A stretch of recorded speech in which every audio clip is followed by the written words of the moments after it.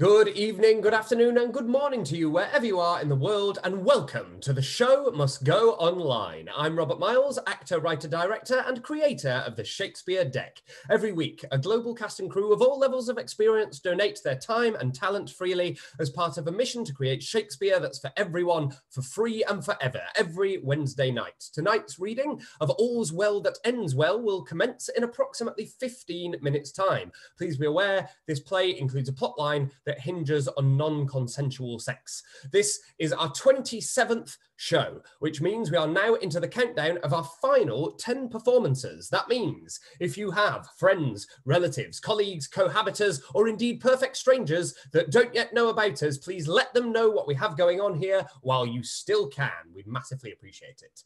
Please remember to like this video, subscribe to the channel, remembering, of course, to hit the bell icon to receive all notifications, and remember to follow us at TSMG Online Live on Twitter or at The Show Must Go Online on Insta and Facebook. And now, to introduce tonight's play, brought to us as always by the splendiferous Ben Crystal, it's Dathan B. Williams. Dathan is the Associate Artistic Director and Dramaturge of the Harlem Shakespeare Festival. He taught Introduction to Shakespeare, the Sonnets, at Cornell University, and is currently on the adjunct teaching staff at City College of New York. He recently made his off-way, uh, off-Broadway, sorry, directorial debut with Richie McCall's Steppin' and Me. His acting credits include the Broadway and first first national tour of Showboat, seven off Broadway shows, 42 regional theatre companies, including Montclair Shakespeare series, where he played Jaques, Orlando Shakespeare, where he played Touchstone, and two seasons with Canada's Stratford Festival, where he was awarded the Artistic Director's John Hirsch Guthrie Award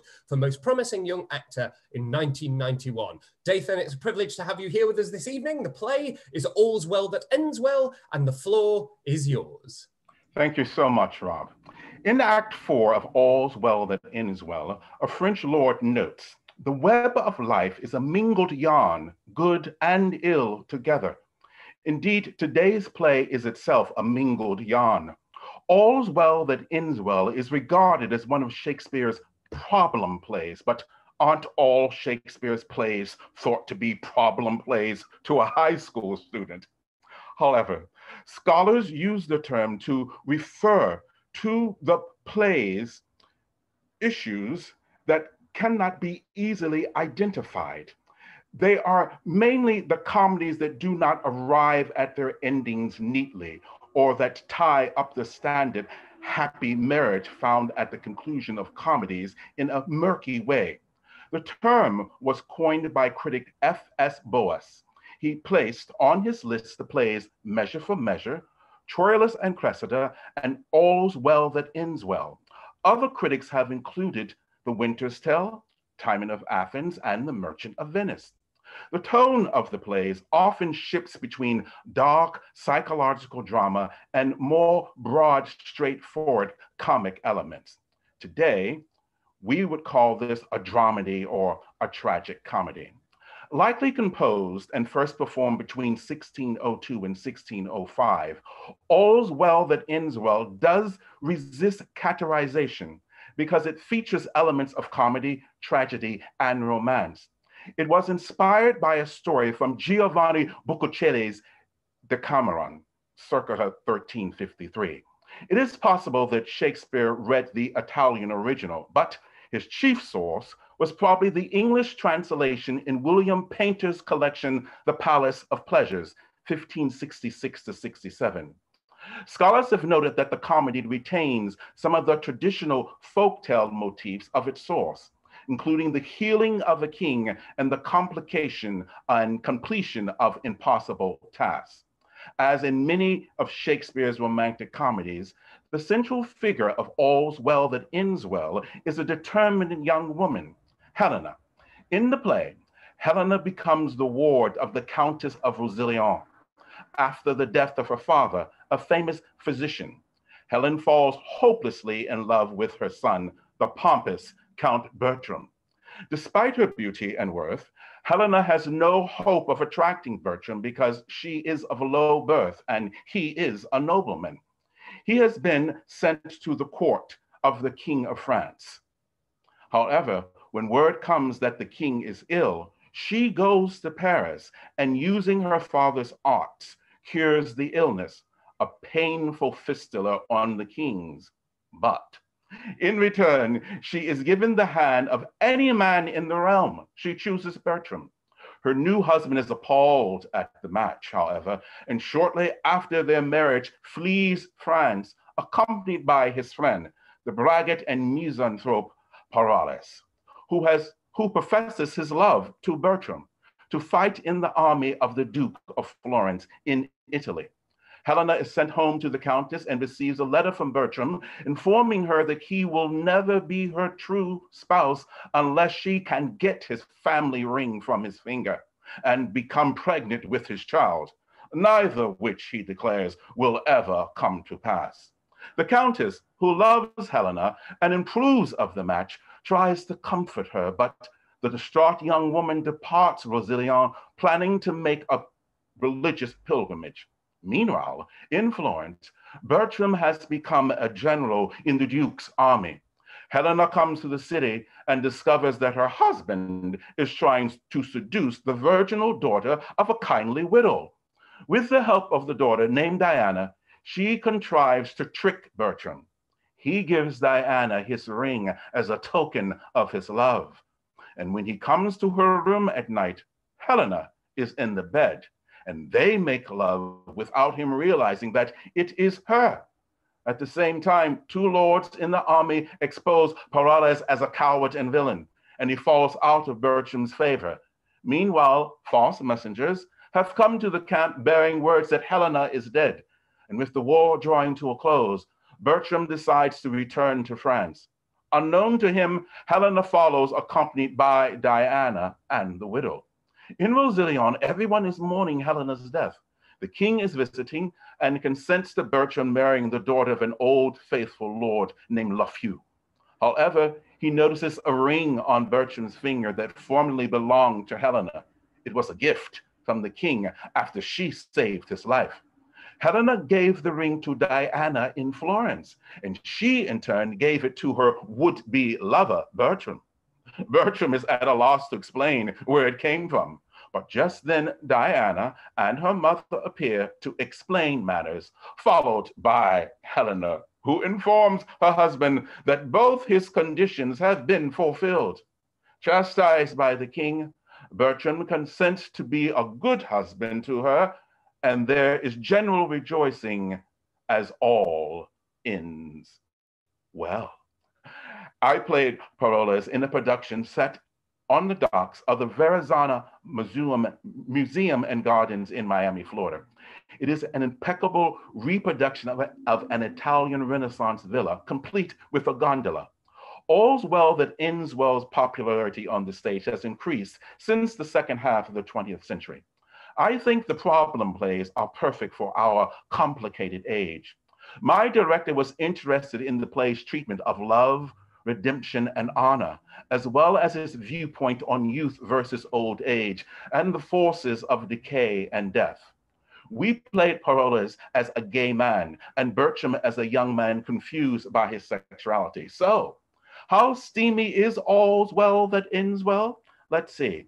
The heroine of our play, that would be Helena, tricks a guy into having sex with her so she can have his baby and force him to stay married. Then there's Bertram, Helena's husband, the ultimate love 'em and leave 'em kind of guy. His favorite hobby is reducing young, naive virgins and making promises he doesn't plan to keep. His best friend, Parolles, who spends most of the time talking dirty to girls and giving big, ridiculous speeches about why women shouldn't bother trying to hold on to their V cards. You can see why the play has an R rating. Yep. And more than that, we can want to point out, however, that the play's hormone driven activity hinges on the not so sexy situation involving the King of France. Before Helen can marry the man of her dreams and trick him into sleeping with her, she has to travel to Paris, cure a giant abscess, a pus filled boil, that's been growing on the king's rear end. Yep, on a scale of zero to 10, that has a steaminess factor of zero. I want you to enjoy the complications of all's wells that ends well. And now back to you, Rob. Thank you so much, Dathan, for sharing your thoughts and experiences on this particularly intriguing and provocative play. And now, Groundlings, the show is about to begin. So please remember to like this video, subscribe to the channel if you haven't already, post your reactions on social using the hashtag show must go online, and enjoy William Shakespeare's All's Well That Ends Well.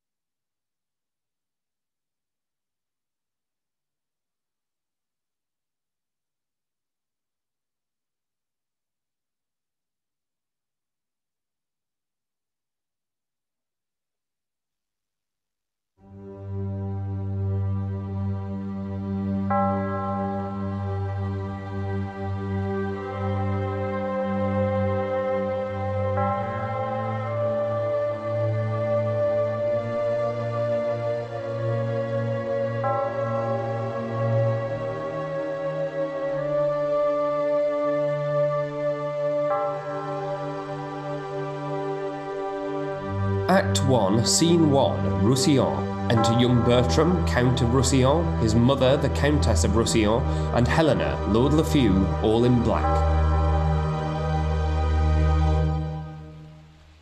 In delivering my son from me, I bury a second husband.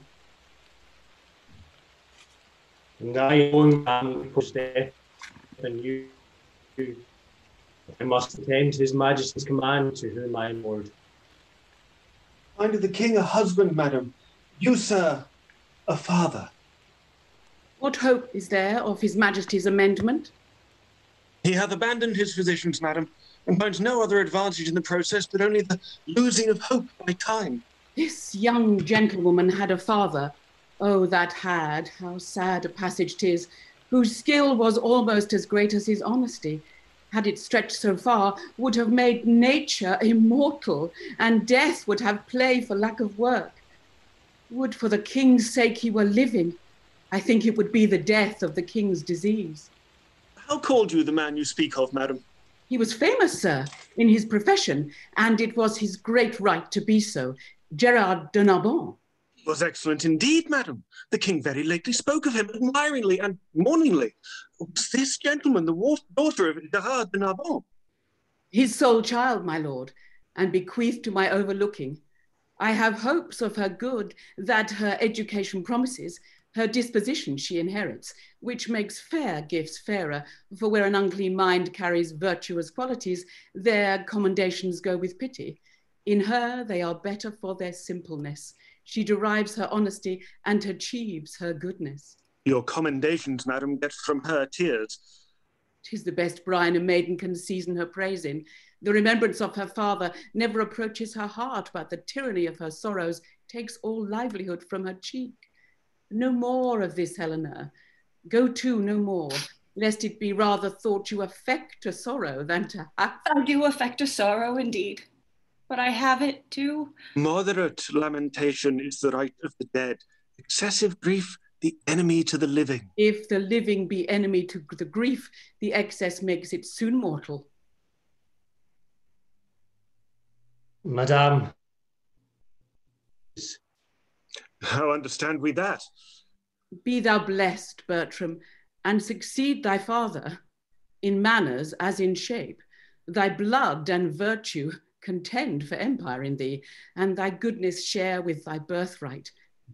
Love all, trust a few, do wrong to none. Be able for thine enemy rather in power than use, and keep thy friend under thine own life's key. Be checked for silence, but never taxed for speech. What heaven more will that thee may flourish and my prayers pluck down fall on my head? Farewell, my lord. Tis an unseasoned courtier. Good my lord, advise him. He cannot want the best that shall attend his love. Heaven bless him. Farewell, Bertram. The best wishes that can be forged in your thoughts be servants to you. Be comfortable to my mother, your mistress, and make much of her. Farewell, pretty lady. You must hold the credit of your father. Oh, were that all? Oh, I think not on my father. And these great tears grace his remembrance more than those I shed for him. What was he like? I have forgot him. My imagination carries no favor in it but Bertram's. Oh, I am undone. There is no living, none, if Bertram be away. Twere all one that I should love a bright particular star and think to wed it. He is so above me. Oh, the ambition in my love thus plagues itself. The hind that must be mated by the lion must die for love. Hmm. Twas pretty, though a plague, to see him every hour, to sit and draw his arched brows, his hawking eye, his curls in our heart's table, heart too capable of every line and trick of his sweet favor. But now he's gone, and my idolatrous fancy must sanctify his relics. Who comes here? Oh, one that goes with him. I love him for his sake, and yet I know him a notorious liar, think him a great way fool, solely a coward. Yet these fixed evils sit so fit in him that they take place when virtue's steely bones looks bleak i' the cold winter. Withal, full oft we see cold wisdom waiting on superfluous folly. Save you, fair queen. Oh, and you, monarch. No. And no. Are you meditating on virginity? I. You have some stain of soldier in you. Let me ask you a question. Man is enemy to virginity. How may we barricade it against him? Keep it out. No, but he assails, and our virginity, though valiant in the defense, yet is weak. Unfold some warlike resistance to us. There is none. Man setting down before you will undermine you and blow you up. Bless our poor virginity from underminers and, and blowers up. Is there no military policy how virgins might blow up men? Virginity being blown down, man will quicklier be blown up. It is not politic in the commonwealth of nature to preserve virginity. Loss of virginity is rational increase, and there was never virgin got till virginity was first lost. Virginity, by being once lost, may be ten times found.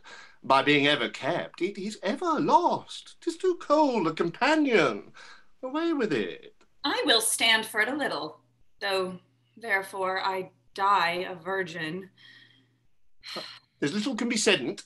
Tis against the rule of nature. To speak on the part of virginity is to accuse your mothers, which is most infallible disobedience. Uh, Besides, virginity is peevish, proud, idle, made of self love, which is the most inhibited sin in the canon. Keep it not.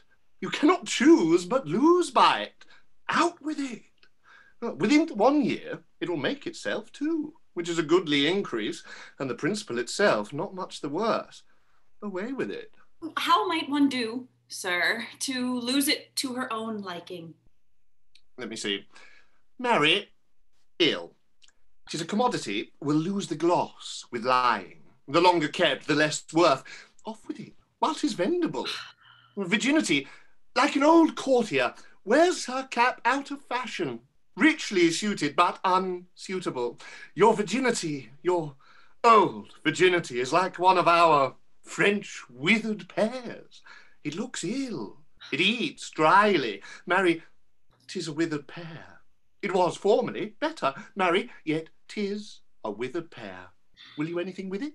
Not my virginity, yet there shall your master have a thousand loves, a mother and a mistress and a friend, a phoenix, captain and an enemy, a guide, a goddess and a sovereign. Now shall he, I know not what he shall. Oh God, send him well. The court's a learning place, and he is one What? One, in faith? that I wish well. 'Tis pity What's pity? that wishing well had not a body in it which might be felt, that we, the poorer born, whose baser stars do shut us up in wishes, might, with effects of them, follow our friends and show us what we alone must think, which never returns us thanks. Monsieur Parolles, my lord calls for you. Little Helen, farewell. If I can remember thee, I will think of thee at court. Oh, Monsieur Parolles, you were born under a charitable star. Hmm, under Mars, aye. I especially think under Mars. Why under Mars? The wars hath so kept you under that you must needs be born under Mars. Uh, when he was predominant. Uh, when he was retrograde, I think rather. I think you so? You go so much backward when you fight. That's for advantage. So is running away when fear proposes the safety. Oh, but the composition that your valor and fear makes in you is a virtue of a good wing, and I like the wear well. I am so full of businesses I, I cannot answer thee acutely. Get thee a good husband and use him as he uses thee. So, farewell. Our remedies oft in ourselves do lie, which we ascribe to heaven. The fated sky gives us free scope, only doth backward pull our slow designs when we ourselves are dull. Oh, what power is it which mounts my love so high that makes me see and cannot feed mine eye? The mightiest space in fortune, uh, nature brings to join like likes and kiss like native things. Hmm.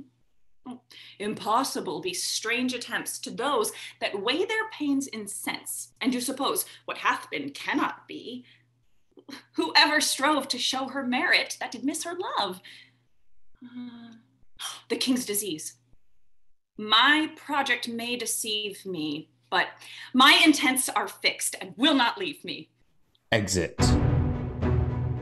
Act 1, Scene 2 Paris, the King's Palace. Enter the King of France with letters, lords, and diverse attendants. The Florentines and the Sienese are by the ears, have fought with equal fortune, and continue a braving war. So 'tis reported, sir. Nay, 'tis most credible we here receive it a certainty vouched from our cousin Austria, with caution that the Florentine will move us for speedy aid, wherein our dearest friend prejudicates the business and would seem to have us make denial. His love and wisdom, approved so to your majesty, may plead for amplest credence. He hath armed our answer, and Florence is denied before he comes. Yet, for our gentlemen that mean to see the Tuscan service, freely have they leave to stand on either part. It well may serve a nursery to our gentry who are sick for breathing and exploit. What's he comes here? It is the Count Roussillon, my good lord, uh, young Bertram. Ah. Youth, thou bear'st thy father's face.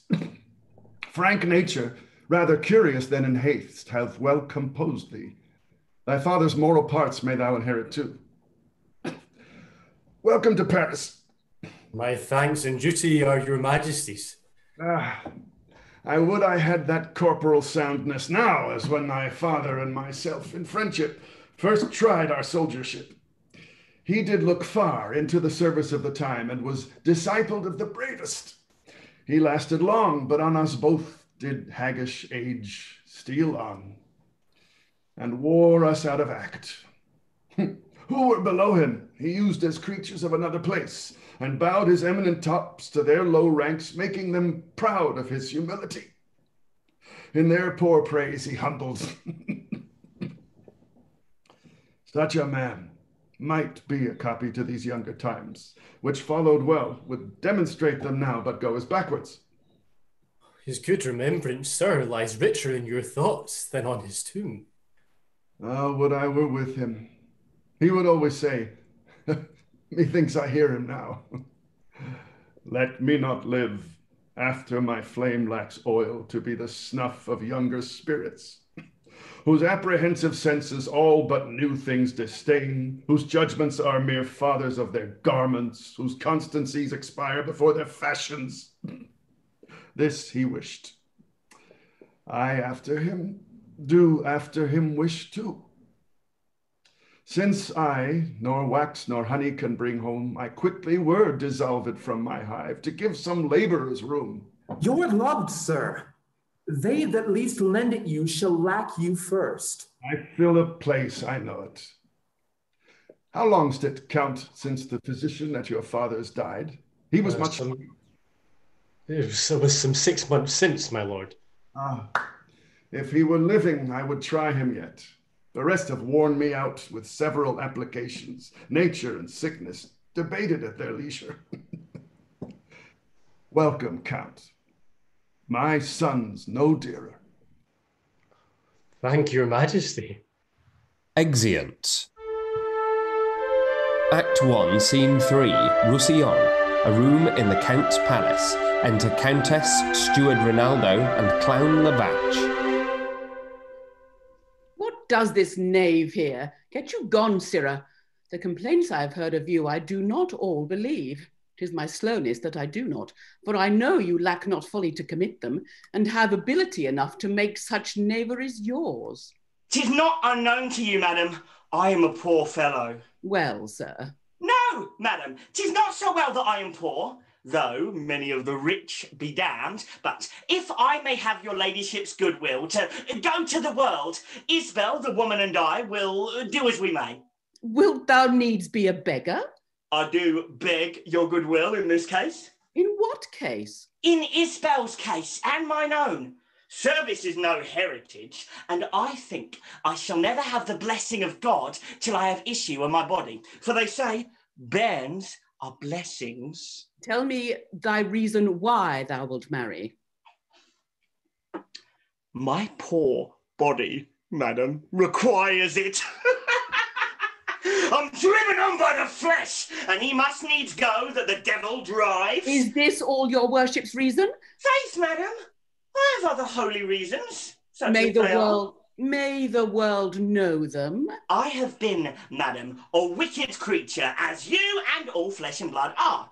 And indeed, I do marry that I may repent. Thy marriage sooner than thy wickedness. I'm out of friends, madam, and I hope to have friends for my wife's sake. Such friends are thine enemies, knave.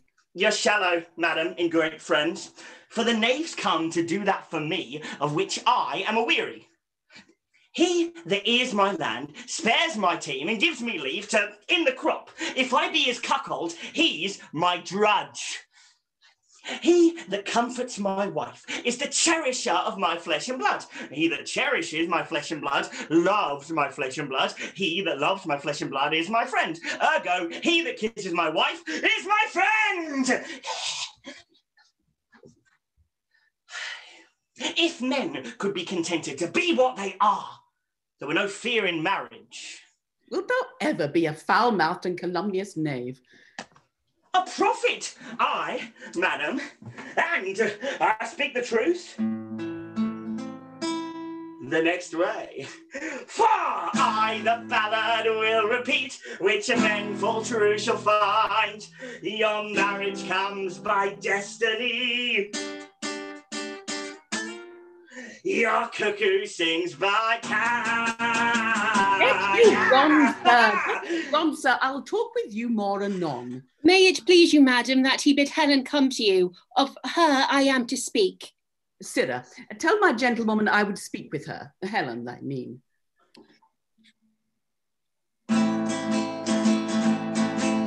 With this fair face the cause but she? Why the Grecians sacked Troy? Von Dun Dun Bun was that King Priam's joy.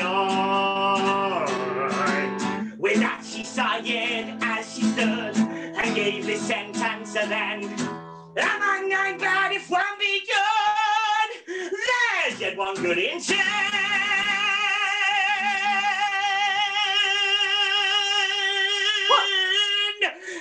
What? One good in ten? You corrupt the song, Sirrah. One good woman in ten, madam, which is our purifying of the song. One in ten, quoth he. And we might have a good woman born but every blazing star or at an earthquake to amend the lottery well. A man may draw his heart out ere he pluck one. You'll be gone, Sir Knave, and do as I command you. That man should be at woman's command. And yet, no hurt done. I'm going forsooth. The business is for Helen to come hither. Well, now. I know, madam, you love your gentlewoman entirely. Faith, I do.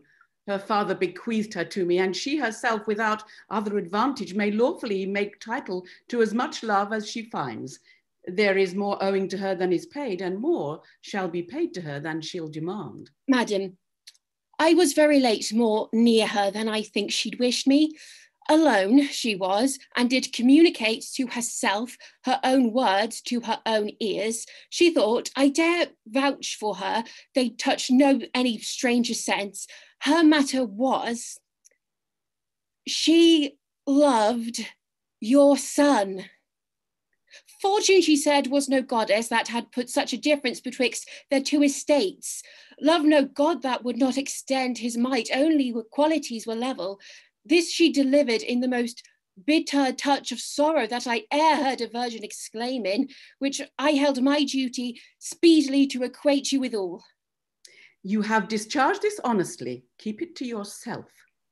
Many likelihoods inform me of this before, which hung so tottering in the balance I could neither believe nor misdoubt. Pray you leave me. Store this in your bosom, and I thank you for your honest care. I will speak with you further anon. Even so it was with me when I was young. If we are ever we are nature's, these are ours. This thorn doth our, to our rose of youth rightly belong. Our blood to us, this to our blood is born. It is the show and seal of nature's truth, where love's strong passion is impressed in youth. But our remembrance of days foregone, such were our faults, or then we thought them none. Her eye is sickened. I observe her now. What is your pleasure, madam? You know, Helen, I am a mother to you. Mine honourable mistress. Nay, a mother? Why not a mother? When I said a mother, methought you saw a serpent. What's in mother that you start at it? I say I am your mother, and put you in the catalogue of those that were in womb at mine. 'Tis often seen adoption strives with nature, and choice breeds a native slip to us from foreign seeds. You ne'er oppress me with a mother's groan, yet I express to you a mother's care. God's mercy, maiden, does it curd thy blood to say I am thy mother? What's the matter? What, this distempered messenger of wet, the many-coloured iris, rounds thine eye? Why, that you are my daughter? That I am not. I say I am your mother. Pardon, madam. The Count Roussillon cannot be my brother. I am from humble, he from honored name. No note upon my parents, his all noble. My master, my dear lord he is, and I his servant live, and will his vassal die, he must not be my brother. Nor I your mother. You are my mother, madam. Would you were, so that my lord your son were not my brother. Indeed, my mother, or were you both our mothers? I care no more for than I do for heaven. So I were not his sister. Can't no other, but I your daughter, he must be my brother. Yes, Helen, you might be my daughter-in-law. God shield you mean it not. Daughter and mother. So strive upon your pulse. What, pale again? My fear catched you in your fondness. Now I see the mystery of your loneliness, and find your salt tears head. Now to all te- sense 'tis gross. You love my son, for look, thy cheeks confess it, one to the other, and thine eyes see it so grossly shown in thy behaviours that in their kind they speak it. Speak, is it so? If it be so, you have wound a goodly clue. If it be not, forswear it. However, I charge thee, as heaven shall work in me for thine avail, to tell me truly. Good madam, pardon me. Do you love my son? Your pardon, noble mistress. Love you my son? Do not you love him, madam? Go not about. My love hath a bound whereof the world takes note. Come, come, disclose the state of your affection. Then I confess, here on my knee, before high heaven and you, I love your son. Oh, my friends were poor, but honest. So is my love. Don't be not offended, for it hurts not him that he is loved of me. I follow him not by any token of presumptuous suit, nor would I have him till I do deserve him, yet never know how that desert should be. I know I love in vain, strive against hope, but let not your hate encounter with my love for loving where you do, but if yourself, whose aged honor cites a virtuous youth, did ever in so true a flame of liking wish chastely and love dearly. Oh, then give pity to her whose state is such, but cannot choose but lend and give, where she is sure to lose. That seeks not to find, that her search implies, but riddle like lives sweetly where she dies. Had you not lately an intent, speak truly, to go to Paris? Madam, I had. Wherefore? Tell true. I will tell truth, by grace itself, I swear. You know, my father left me some prescriptions of rare and proved effects, and that he willed me in heedfulest reservation to bestow them as notes whose faculties inclusive were more than they were in note. Among the rest, there is a remedy, approved, set down to cure the desperate languishings whereof the king is rendered lost. This was your motive for Paris, was it? Speak. My lord, your son made me to think on this, else Paris and the medicine and the king had from the conversation of my thoughts happily been absent then. But think you, Helen, if you should tender your supposed aid, he would receive it, and he and his physicians are of a mind. He, that they cannot help him, they, that they cannot help.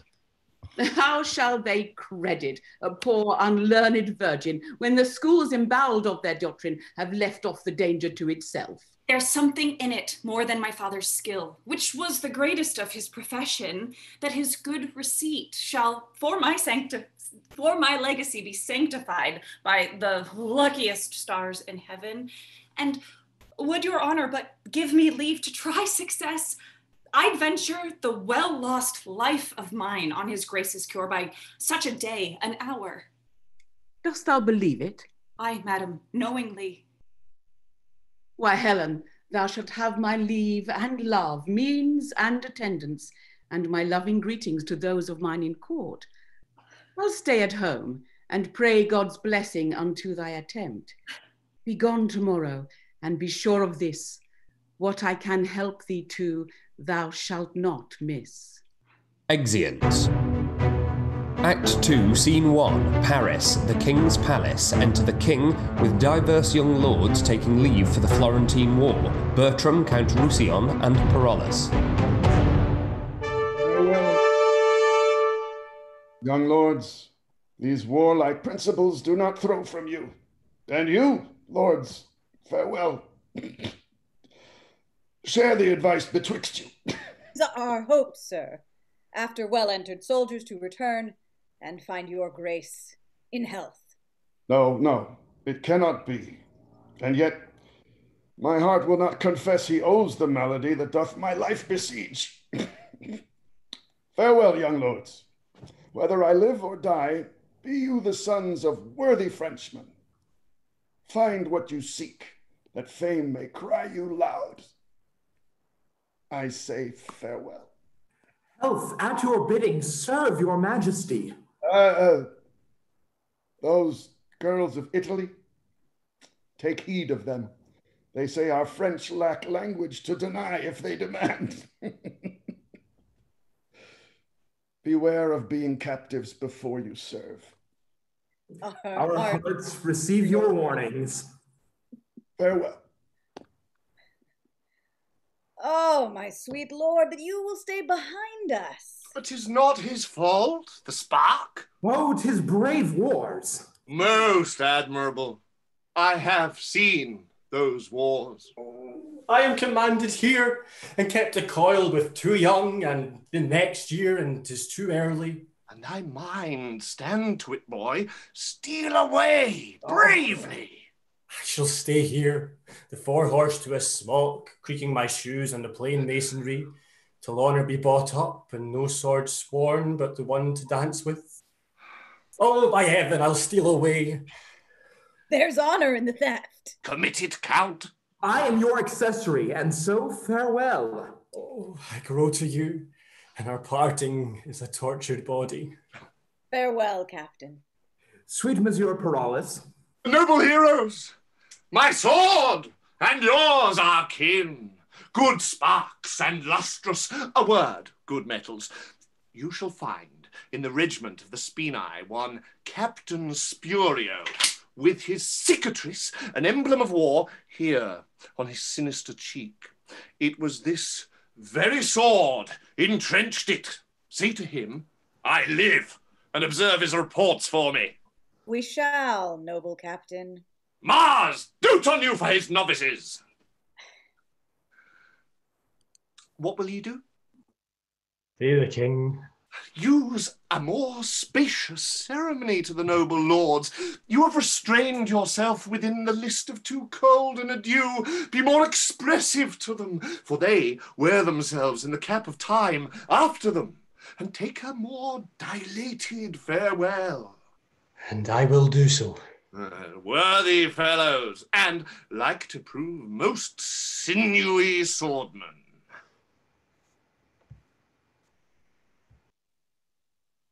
Pardon my lord, for me and for my tidings. I'll see thee to stand up. And here's a man stands that has bought his pardon.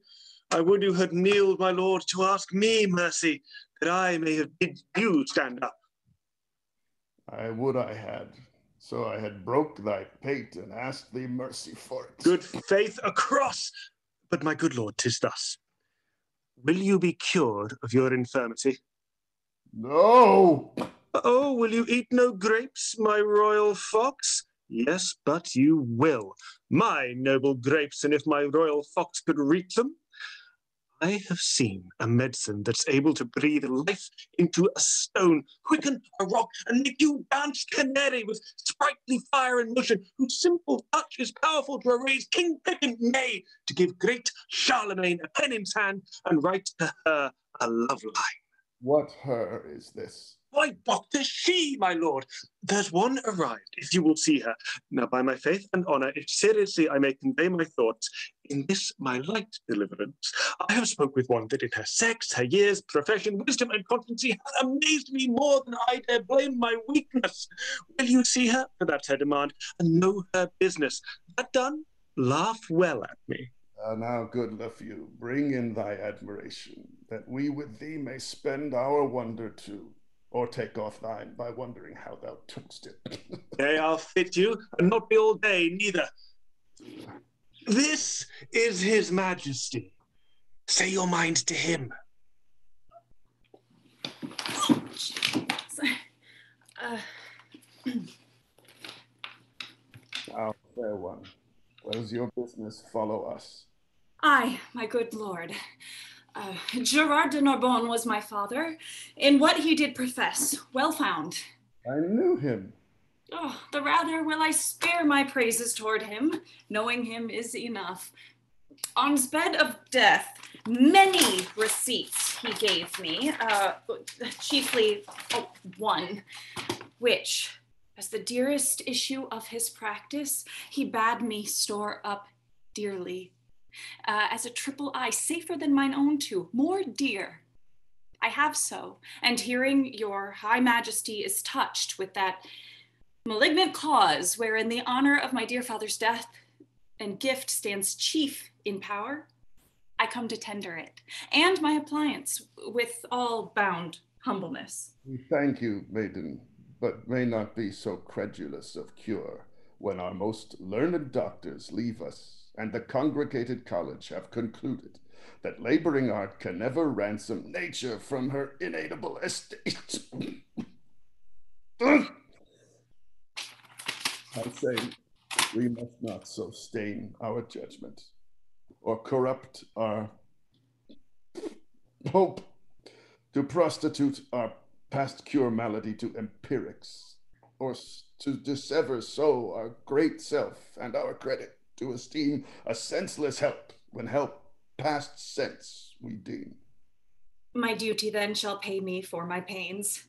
I will no more enforce mine office on you, humbly entreating from your royal thoughts uh, a modest one to bear me back again. I cannot give thee less to be called grateful. Thou thoughts to help me, and such thanks I give as one near death to those that wish him live. But what at full I know, thou knowest no part. I know in all my peril, thou no art. What I can do can do no hurt to try, since you set up your rest against remedy. He that of greatest works is finisher, oft does them by the weakest minister. I must not hear thee. Fare thee well, kind maid. Thy pains not used must by thyself be paid. Proffers not took reap thanks for their reward. Inspired merit, so by breath is barred. And most it is presumption in us when the help of heaven we count the act of men. Oh, dear sir, to my endeavors give consent. Of heaven, not me, make an experiment. I am not an impostor that proclaim myself against the level of mine aim, but no, I think, and think I know most sure, my art is not past power, nor you past cure. Art thou so confident? Within what space hopest thou my cure? The greatest grace, lending grace, ere twice the horses of the sun shall bring their fiery torture his diurnal ring. Ah. What is infirm from your sound parts shall fly. Health shall live free, and sickness freely die. Upon thy certainty and confidence, what darest thou venture? Tax of impudence, uh, strumpet's boldness, a divulged shame traduced by odious ballads, my maiden's name seared, otherwise, nay, worse of worst, extended with vilest torture, let my life be ended. Methinks in thee some blessed spirit doth speak his powerful sound within an organ weak. Thy life is dear, for all that life can rate, worth name of life in thee hath estimate. Youth, beauty, wisdom, courage, all that happiness and prime can happy call. Thou this to hazard needs must intimate skill infinite, or monstrous desperate. Ah, sweet practicer. Thy physic I will try that ministers thine own death if I die. If I break time or flinch in property of what I spoke, unpitied let me die, and well deserved. Not helping, death's my fee. But if I help, what do you promise me? Make thy demand. But will you make it even? I, by my scepter and by my hopes of heaven. Then shalt thou give me, with thy kingly hand, what husband in thy power I will command. Here is my hand. The premises observed, thy will be, by my performance shall be served. Give me some help, oh! if thou proceed, as high as word. My deed shall match thy meed. Exeunt. Act 2, Scene 2, Roussillon, the Count's Palace. Enter Countess and Clown. Come on, sir. I shall now put you to the height of your breeding. I will show myself highly fed and lowly taught. I know my business is but to the court. To the court? Why, what place do you ma- make you special when you put off that with such content? But to the court. Truly, madam, if God had lent a man any manners, he may easily put it off at court. He that cannot uh, make a leg, uh, put off cap, kiss his hand, and say nothing, has neither leg, hat, lips, nor cap, and indeed, such a fellow to say precisely were not for the court. But for me, I have an answer that will serve all men. Mary, that's a bountiful answer that fits all questions. It is like a barber's chair, which fits all buttocks. The pin buttock, the quatch buttock, the burn buttock, or any buttock. Will you answer, serve fit to all questions? As fit as ten groats is to the hand of an attorney. As your French crown to your taffeta punk, as Tibbs rush for Tom's forefinger, as uh, a pancake for Shrove Tuesday, a, Morris for a May Day, as the nail to his hole, the cuckold to his horn, as the nun's lip to the friar's mouth, nay, as the pudding to his skin. Have you, I say, an answer of such fitness for all questions?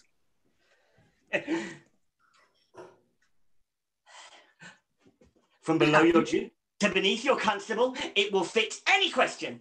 Ask me if I am a courtier. It will do you no harm to learn. To be young again, if I if we could, I will be a fool in question, hoping to be the wiser by your answer. I pray you, sir, are you a courtier? Oh, Lord, sir! More, more, hundred of them. Sir, I am a poor friend of yours that loves you. Oh, Lord, sir! Sick, sick, spare not me. I think, sir, you can eat none of this homely meat. Oh, Lord, sir! Nay, put me to it, I warrant you.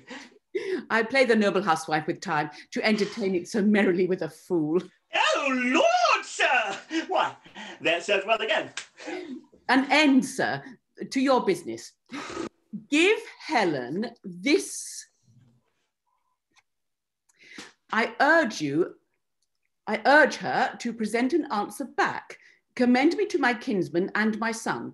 This is not much. Not much commendation to them. Not much employment for you. You understand me?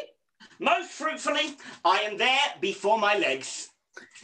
Haste you again. Exeunt.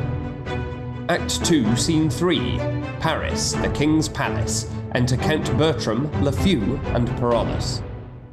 They say miracles are past, and we have our philosophical persons to make modern and familiar things supernatural and causeless. Why, it is the rarest argument of wonder that hath shot out in our latter times. Mm, and so it is. To be relinquished of the artists. So I say, both of Galen and Paracelsus. Of all the learned and authentic fellows. Right, so I say. That gave him out incurable. Why, there 'tis, so I say too.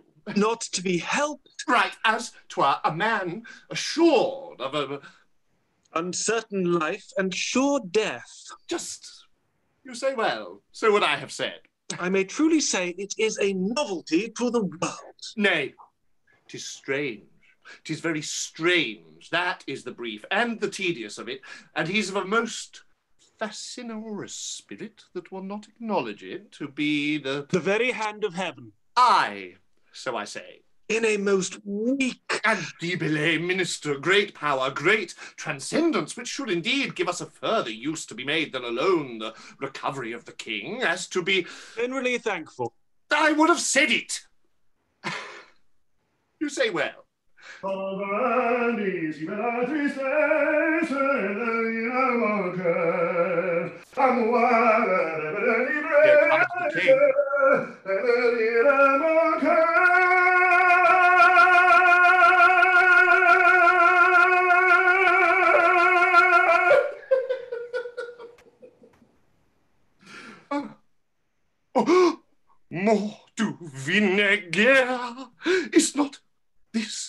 Helen? For God, I think so. Go call before me all the lords of the court. Fair maid, send forth thine eye. This youthful parcel of bachelors, of noble bachelors, stand at my bestowing, o'er whom both sovereign power and father's voice I have to use. Thy frank election make, thou hast power to choose, and they none do forsake.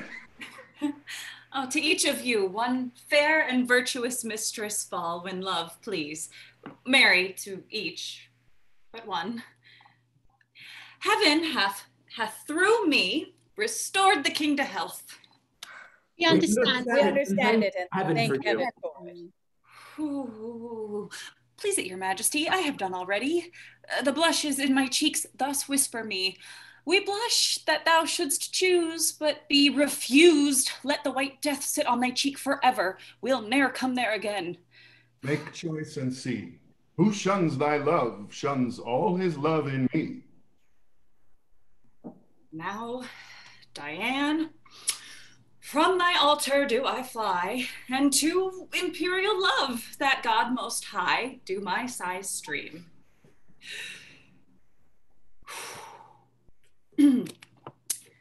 uh, ah, sir, will you hear my suit?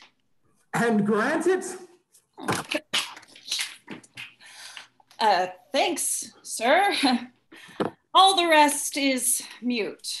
I had rather be in this choice than throw two aces for my life. Oh, uh, the honor, sir, that flames in your fair eyes before I speak too threateningly replies. Love make your fortunes twenty times above her that so wishes, and her humble love. No better, if you please. Hmm. Oh! Oh! My wish receive, which great love grant, and so I take my leave. Do all they deny her? Oh, be not afraid that I your hand should take. I'll never do you wrong for your own sake. Blessing upon your vows, and in your bed find fairer fortune if you ever wed. These boys are boys of ice. They'll none have her. Sure, they are bastards to the English. French ne'er got them. You are too young, too happy, and too good to make yourself a son out of my blood. A fair one, think not so. There's one grape left. I dare not say I take you, but I give me and my service ever whilst I live into your guiding power. This is the man. Why then, young Bertram, take her. She's thy wife. My wife, my liege. I shall beseech your highness, in such a business, give me leave to use the help of mine own eyes. Knowst thou not, Bertram, what she has done for me? Yes, my good lord, but never hope to know why I should marry her. Thou knowest she has raised me from my sickly bed. But follows it, my lord, to bring me down must answer for your raising? I know her well. She had her breeding at my father's charge, a, a poor possession's daughter, why my wife disdain, rather corrupt me ever. Tis only title thou disdainst in her, the which I can build up. Ah, strange is it that our bloods of color, weight, and heat poured all together would quite confound distinction, yet stands often distance differences so mighty? If she be all that is virtuous, save what thou dislikest, a poor physician's daughter, thou dislikes a virtue for the name, but do not so. From lowest place, when virtuous things proceed, the place is dignified by the doer's deed. Where great additions swell and virtue none, is a, it is a dropsied honor. Good alone is good, without a name. Vileness is so.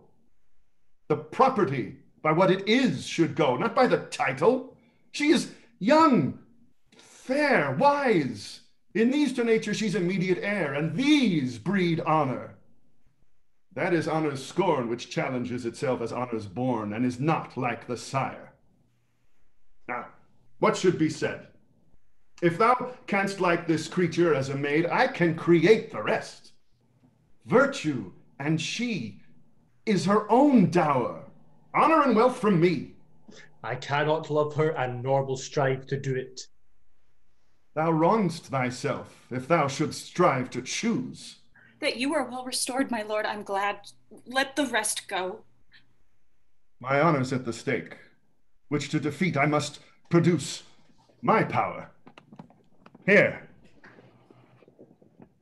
Take her hand, proud, scornful boy, unworthy this good gift that doth in vile misprision shackle up my love and her desert.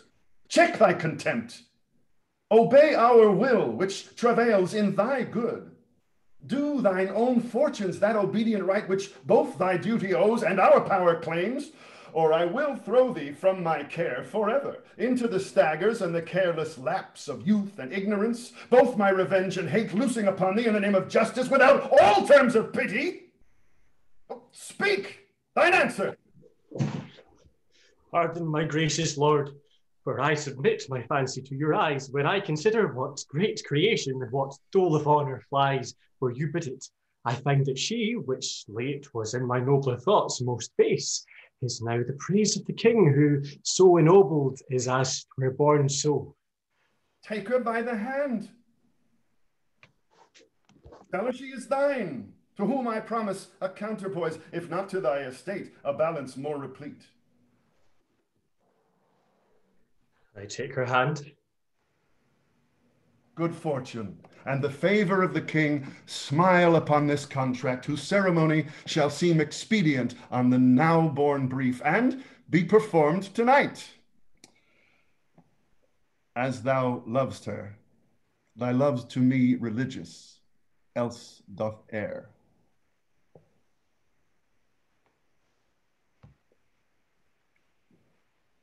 Do here, monsieur, a word with you. Your pleasure, sir. Your lord and master did well to make his recantation. Recantation? My, my lord? My master? Aye, is it not a language I speak?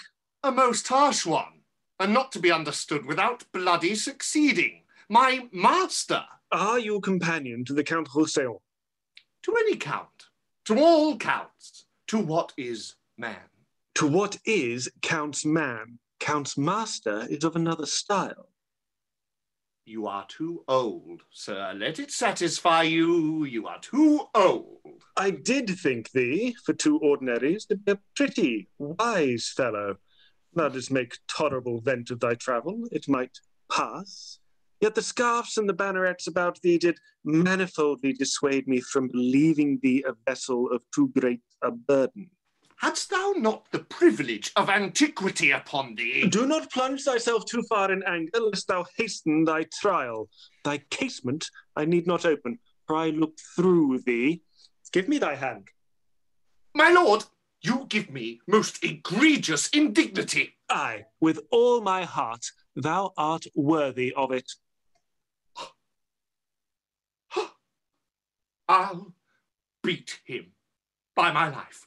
If I can meet him with any convenience, and he were double and double a lord, I'll have no more pity of his age than I would have.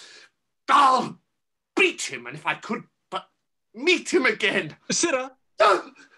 your lord and master's married. There's news for you. You have a new mistress. I most unfeignedly beseech your lordship to make some reservation of your wrongs.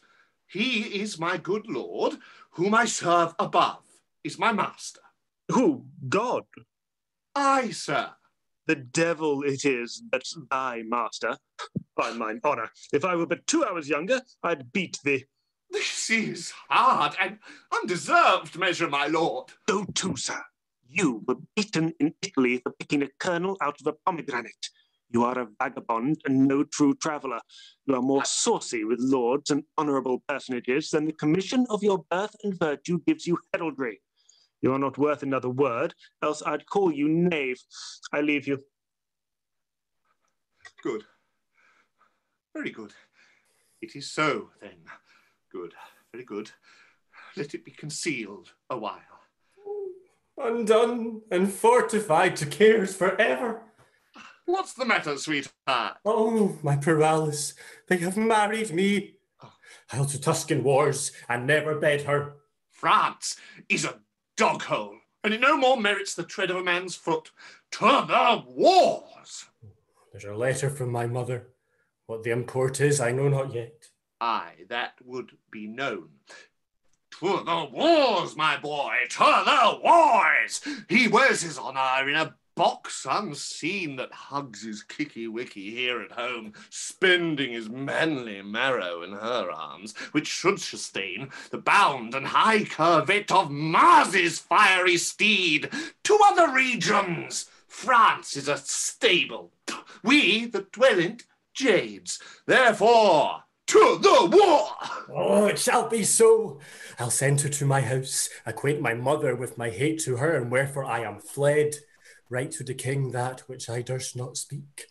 Wars is no strife to the dark house and the detested wife. I'll send her straight away.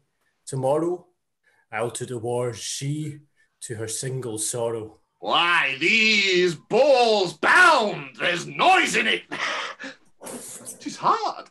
A young man married is a man that's marred. Therefore, away and leave her bravely. Go! The king has done you wrong.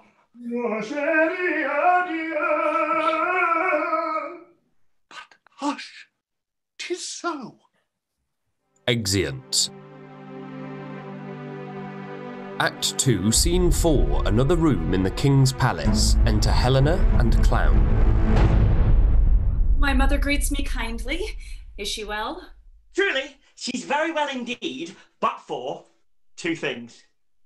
What two things? One, that she's not in heaven, whither God send her quickly. The other, that she's in earth, from whence God send her quickly. Bless you, my fortunate lady. I hope, sir, I have your goodwill to have mine own good fortunes. Oh, my knave. How does my old lady? So that you had her wrinkles and I her money, or would she did as you say? Why, I say nothing.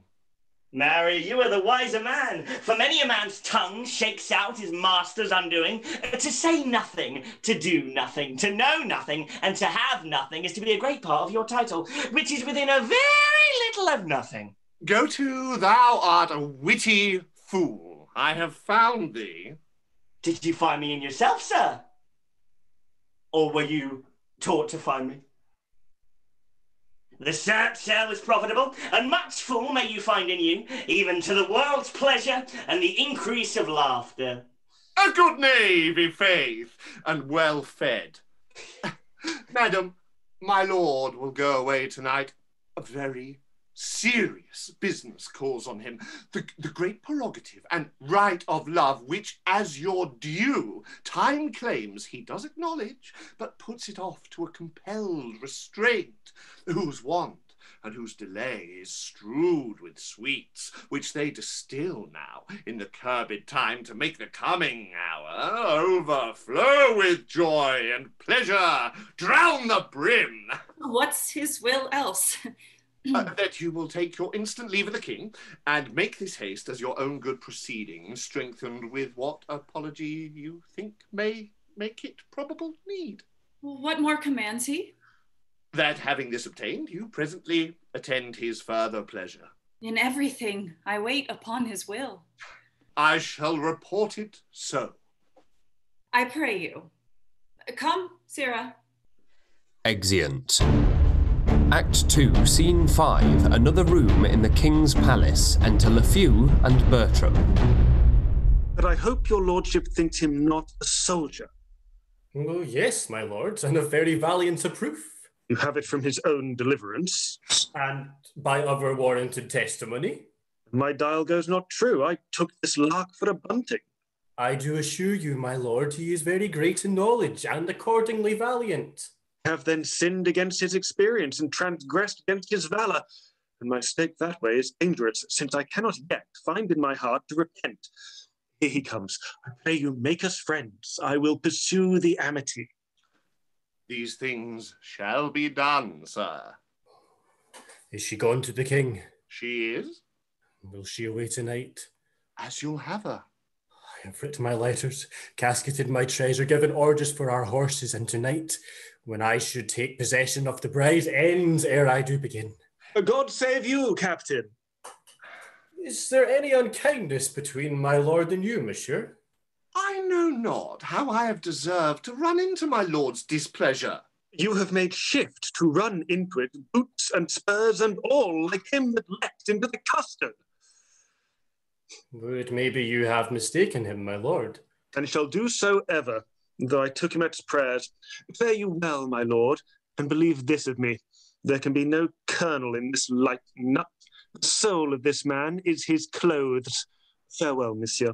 I have spoken better of you than you have or will to deserve at my hand, but we must do good against evil. An idle lord, I swear. I think so. Why, do you not know him? Yes, I do know him well, and common speech gives him a worthy pass. Oh, here comes my clog. I have, sir, as I was commanded from you, spoke with the king and have procured his leave for present parting. Uh, only he desires some private speech with you. I shall obey his will. You must not marvel, Helen, at my course, which holds not colour with the time, nor does administration and required office in my particulars. Prepared I was not for such a business, therefore I am found so much unsettled. This drives me to entreat you that presently you take your way for home, and rather muse than ask why I entreat you, for my respects are better than they seem, and my appointments have in them a need greater than shows itself at first view to you that know them not. This to my mother. Twill be two days ere I shall see you, so I leave to you to your wisdom. Oh, sir, I can nothing say but that I am your most obedient servant. Oh, come, come, no more of that. and ever shall with true observance seek to eke out that wherein toward me my homely stars have failed to equal my great fortune. Let that go. Uh, my haste is very great. Farewell. Hi home. Pray, sir, your pardon. Well, what would you say? I am not worthy of the wealth I owe, nor dare I say 'tis mine, and yet it is. Uh, but like a timorous thief, most fain would steal what law does vouch mine own. Well, what would you have? Strangers and foes do sunder, and not kiss. I pray you say not, but uh, in haste to horse. I shall not break your bidding, good my lord. Where are my other men, monsieur? oh, uh, farewell. Oh, go thou towards home, where I will never come, lest I can shake my sword or hear the drum. Away, and for our flight. Bravely. Coraggio! Exeunt. Act 3, Scene 1 Florence, the Duke's Palace. Enter the Duke of Florence, the two French lords. So that from point to point now you have heard the fundamental reasons of this war. Therefore, we marvel much our cousin France would, in so just a business, shut his bosom against our borrowing prayers.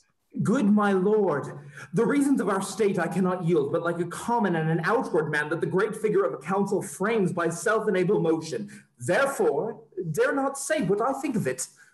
Be it his pleasure.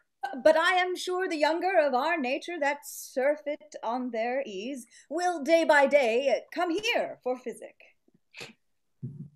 Welcome shall they be, and all the honors that can fly from us shall on them settle.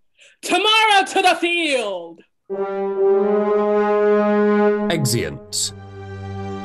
Act 3, Scene 2 Roussillon, the Count's Palace. Enter Countess. Hath happened all as I would have had it, save that he comes not along with her. Let me see what he writes, and when he means to come. I have sent you a daughter in law. She hath recovered the king, and undone me. I have wedded her, not bedded her, and sworn to make the not eternal. You shall hear I am run away. Know it before the report come. If there be breadth enough in the world, I will hold a long distance my duty to you, your unfortunate son, Bertram. This is not well. Rash and unbridled boy, to fly the favours of so good a king, to pluck his indignation on thy head by the misprizing of a maid too virtuous for the contempt of empire?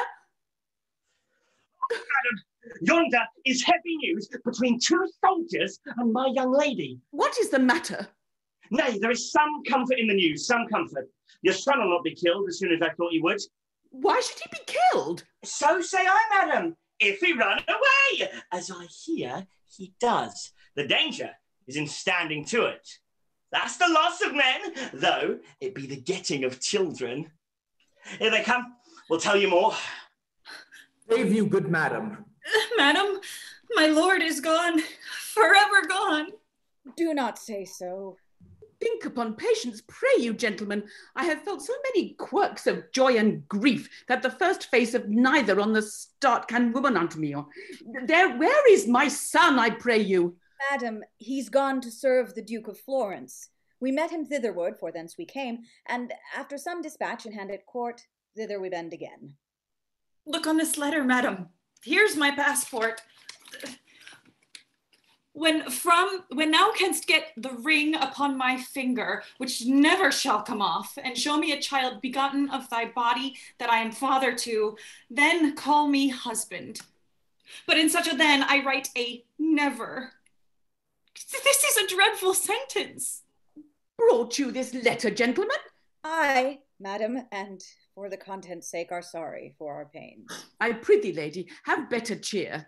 If thou engrossest all the griefs are thine, thou robst me of moiety. He was my son, but I do wash his name out of my blood, and thou art all my child. Towards Florence is he? Ay, madam. And to be a soldier? Such is his noble purpose and belief, the Duke will lay upon him all the honour that good convenience claims. Return you thither?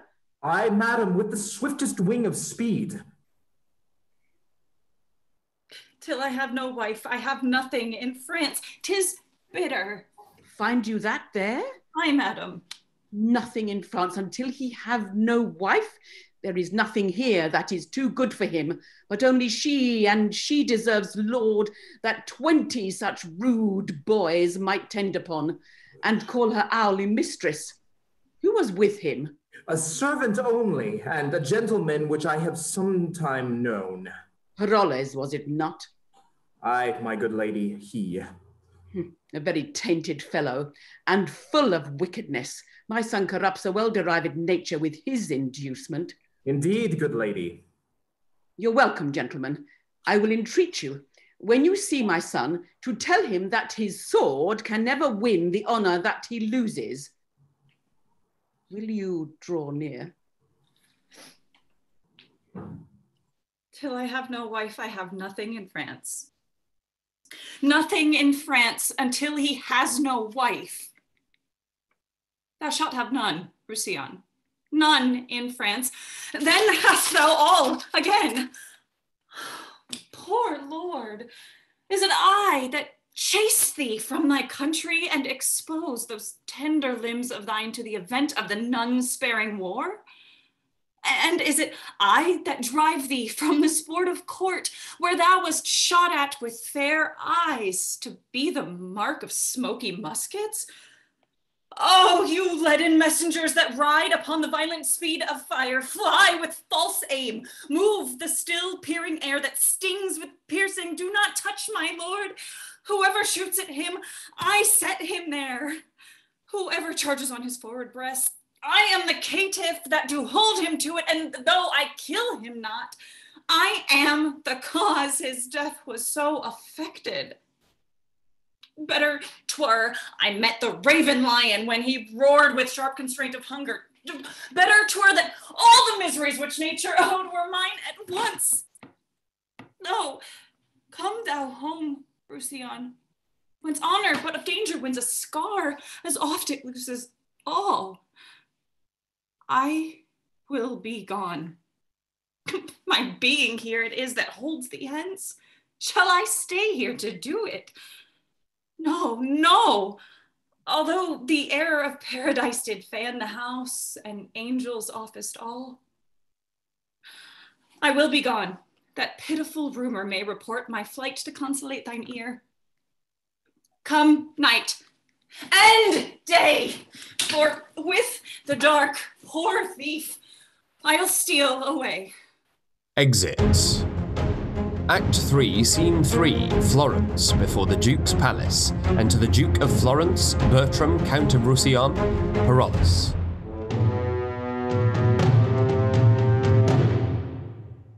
The general of our horse thou art, and we, great in our hope, lay best our love and credence upon thy promising fortune. Sir, it is a charge too heavy for my strength, but yet we'll strive to bear it for your worthy sake to the extreme edge of hazard. Then go forth, and fortune play thy prosperous helm as thy auspicious mistress. This very day, great Mars, I put myself into thy file. Make me but like my thoughts, and I shall prove a lover of thy drum, hater of love. Exeunt omnes. Act 3, Scene 4, Roussillon, the Count's palace. Enter Countess and Steward Rinaldo. Alas, and would you take the letter of her? Might you not know she would do as she has done by sending me a letter? Read it again. I am St. Jaques' pilgrim thither gone. Ambitious love hath in me offended, that barefoot plod I cold ground upon, with sainted vow my faults to ha- have amended. Right, right, that from the bloody course of war, my dearest master, your dear son, may hie. Bless him at home in peace, whilst I from far his name with zealous fervour sanctify. He is too good and fair from death and me, whom I myself embrace to set him free. Oh, what sharp stings are in her mildest words. Rolando, did you never lack advice so much as letting her pass so? Had I spoke with her, I could have well diverted her intents, which thus she hath prevented. Pardon me, madam, if I had given you this uh, night, she might have over over it. Right, right, Rinaldo. To this unworthy husband of his wife, let every word weigh heavy of her worth, that he does weigh too light. My greatest grief, though little he do feel it, set down sharply. Dispatch the most convenient messenger. When haply he shall hear that she is gone, he will return, and I hope, may, that she, hearing so much, will speed her foot again, led hither by pure love. Which of them both is dearest to me? I have no skill in sense to make distinction. Provide this messenger. My heart is heavy, mine age is weak. Grief would have tears, and sorrow bids me speak. Exeunt. Act 3, Scene 5, Without the Walls of Florence. Enter Old Widow of Florence, her daughter Diana, and Mariana. Oh, nay, come, for if they do approach the city, we shall lose all sight. They say the French Count has done most honourable service. It is reported that he has taken their greatest commander, and with his own hand slew the Duke's brother. Well, Diana, take heed of this French earl. The honor of a maid is her name, and no legacy is as rich as history, honesty. I have told my neighbor how you have been solicited by a gentleman, his companion. I know the knave. Hang him! One, Parolles, a filthy officer he is, in those suggestions for the young earl. Beware of them, Diana, their promises, enticements, oaths, tokens, and all these engines of lust are not the things they go under. I hope I need not to advise you further. But I hope your own grace will keep you where you are, though there were no further danger known but the modesty which is so lost. You shall not need to fear me. I hope so. Look, here comes a pilgrim. I'll question her. God save you, pilgrim. Whither are you bound? To Saint Jacques le Grand. Where do the Palmers lodge? I do beseech you. At the St. Francis here beside the port. Oh, uh, is this the way? I marry ist. Hark you to come this way. If you will tarry, holy pilgrim, but till the troops come by, I will conduct you where you shall be lodged. Oh, I thank you, and will stay upon your leisure. Uh, you came, I think, from France. I did so. Here you will see a countryman I, uh, that has done worthy service. Name, I pray you? The Count of Roussillon. Know you such a one? But by the ear that hears most nobly of him, his face I know not. Whatsoe'er he is, he's bravely taken here. He stole from France, as is reported, for the king had married him against his liking. Think you it is so? I surely mere the truth. I know his lady. There is a gentleman that serves the count, reports but coarsely of her. What's his name? Monsieur Parolles. Oh, I believe with him in argument of praise, or to the worth of the great count himself. She is too mean to have her name repeated. Alas, poor lady. Tis a hard bondage to become the wife of a detesting lord. I warrant, good creature, whoe'ersoe'er she is, her heart weighs sadly. This young maid might do her a shrewd turn if she pleased. How do you mean? Maybe the amorous count solicits her in the unlawful purpose? does indeed, and brokes with all that can in such a suit corrupt the tender honor of a maid. But she is armed for him and keeps her guard in honestest defense. So, so, now they come. Oh, oh, which is the Frenchman? He, that with the plume, is not a handsome man. I like him well. Tis pity he is not honest. Yon's that same knave that leads him to these places. Were I his lady, I would poison that vile rascal. But which is he? That jackanapes with scarfs. Why is he melancholy? Perchance he's hurt in the battle. Lose our drum. Where? He's shrewdly vexed at something. He spied us. Marry, hang you. And your courtesy for a ring carrier. the troops have passed. Come, pilgrim, I will bring you where you shall be host. I humbly thank you. Uh, please it, this matron and this gentle maid to eat with us tonight. The charge and thanking shall be for me. We'll take your offer kindly. Exeunt. Act 3, Scene 6 Camp before Florence. Enter Bertram, Count Roussillon, and the two French lords. If your lordship find him not a hilding, hold me no more in your respect. Do you think I am so far deceived in him? He's a most notable coward, an infinite and endless liar, an hourly promise breaker, the owner of no wood, good quality worthy your lordship's entertainment. If it were fit you knew him, lest reposing too far in his virtue, which he hath not, he might at some great and trusty business in a main danger fail you. Well, I would I knew in what particular action to try him. No better than to let him fetch off his drum, which you hear him so confidently undertake to do. I, with a troop of Florentines, will suddenly surprise him, who I'm sure he knows not from the enemy. We will bind and hoodwink him so that he shall suppose no other but that he is carried into the leaguer of the adversaries when we bring him to our own tents. Be but your lordship present at his examination. If he do not, for the promise of his life, and in the highest compulsion of base fear, offer to betray you, and deliver all the intelligence in his power against you, and that with the divine forfeit of his soul upon oath, never trust my judgment in anything. Here he comes. How now, monsieur? This drum sticks sorely in your disposition. Pox on, let it go. Tis but a drum. But a drum is but a drum. A drum so lost. There was excellent command to charge in with our horse upon our own wings and to rend our own soldiers. That was not to be blamed in the command of the service. It was a disaster of war that Caesar himself could not have prevented. Oh, well, we cannot greatly condemn our success.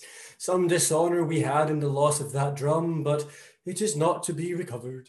It is to be recovered. I would have that drum, or another, or here lies. Why, if you have the stomach to it, monsieur, I will grace the attempt for a worthy exploit.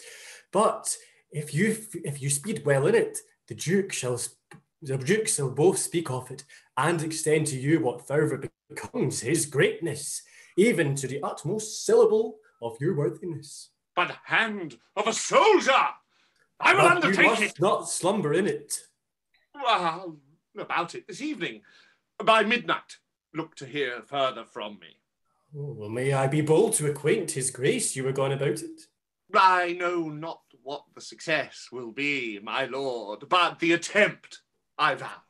Oh, I know thou art valiant, and the possibility of thy shouldership, shouldership will subscribe for thee.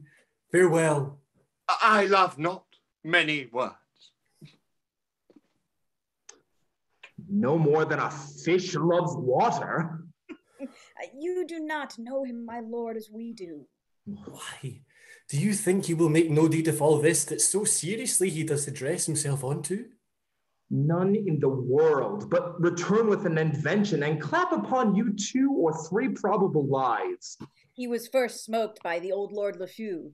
When his disguise and he is parted, tell me what a sprat you shall find him, which you shall see this very night. I must go look my twigs.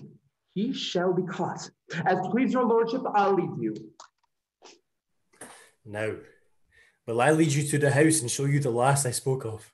But you say she's honest. Oh, that's all the fault.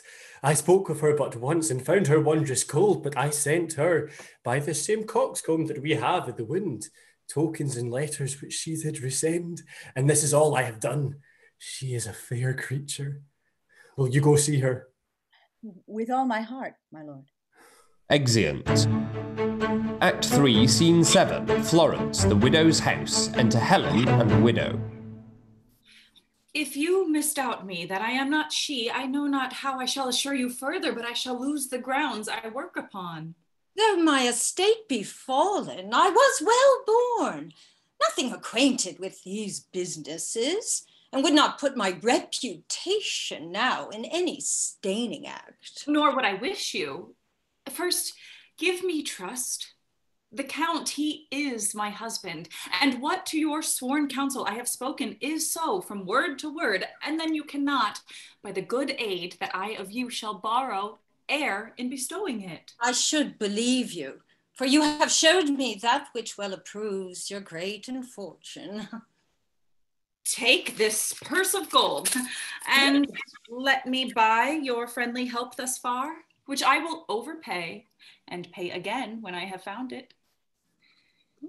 The Count, he woos your daughter, lays down his wanton siege before her beauty, resolved to carry her. Let her, in fine consent, as will direct her how 'tis best to bear it. Now his important blood will not deny that she'll demand. A ring the county wears, that downward hath succeeded in his house from son to son some four or five descents since the first father wore it. This ring he holds in most rich choice, yet in his idle fire to buy his will it would not seem too dear, howe'er repented after. Now I see the bottom of your purpose. You see it lawful then. It is no more, but that your daughter, ere she seems as one, desires this ring, appoints him an encounter, in fine, delivers me to fill the time, herself most chastely absent. After, to marry her, I'll add 3,000 crowns to what is passed already. I have yielded. Instruct my daughter how she shall persever that time and place with this deceit so lawful may prove coherent. Why then tonight, let us essay our plot, which, if it speed, is wicked meaning in a lawful deed, and lawful meaning in a lawful act, where both not sin, and yet a sinful fact. Uh, but let's about it. Exeunt. Act 4, Scene 1. Without the Florentine camp. Enter second French lord, first and second soldiers. He can come no other way but by this hedge corner.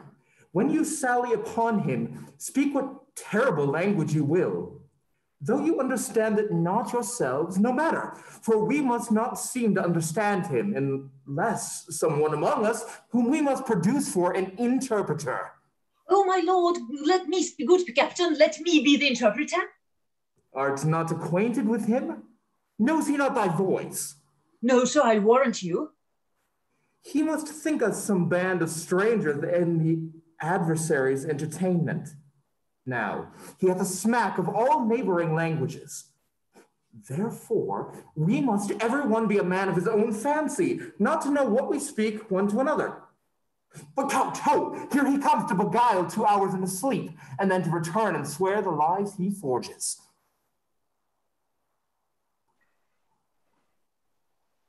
Hmm. Ten o'clock. Within these three hours, it will be time enough to come home. What shall I say I've done? It must be a very plausible invention that carries it. They begin to smoke me, and disgraces have of late knocked too often at my door. What the devil should move me to undertake the recovery of this drum, being not ignorant of the impossibility, and knowing I had no such purpose? I must give myself some hurts and say I got them in exploit. Yet slight ones will not carry it. They will say, hmm, came you off with so little? And, uh, oh, no, great ones I dare not give. Wherefore, what's the instance? Tongue, I must prattle you into a butterwoman's mouth if you prattle me into these perils. Is it possible he should know what he is and be that he is? I would. The cutting of my garments would serve the turn. Or the breaking of my Spanish sword. We cannot afford you so. Or the, the, the bearing of my beard and say it was in stratagem. Would not do. Oh, oh, no. Or to drown my clothes and say I was stripped. Hardly serve. Though I swore I leapt from the window of the citadel. How deep? Thirty fathom. Three great oaths would scarce make that be believed. I would have had any drum of the enemies. I would swear I recovered it. You shall hear one anon. The drum now of the enemies.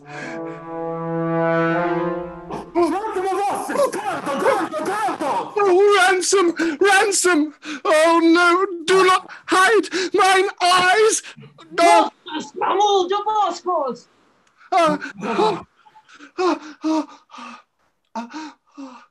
I know you are the Muscos regiment, and I shall lose my life for want of language. Uh, if there be here any German or Dane, Low Dutch, Italian, or French. Oh, let him speak to me. I'll, I'll discover that which shall undo the Florentine.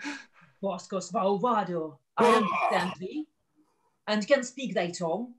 Carelli Bonto, so betake thee to thy faith, for seventeen poniards are in thy bosom. Oh, ah! no. oh pray, pray, pray, manca rivania dulce. Oscobodocus, volevorco! The general is content to spare thee yet, and hoodwinked as thou art, will lead thee on together from thee. Happily thou mayst inform something to save thy life. Oh, let me live. And, and all the secrets of our camp I'll show. Their force, their purposes. Nay, I'll speak that which you will wonder at. But wilt thou faithfully? No, if I do not, damn me. Accordolenta. Ah. Come on, thou art granted space. Go tell the Count Roussillon and my brother we have caught the woodcock and will keep him muffled till we hear do hear from them. Captain, I will. Exeunt.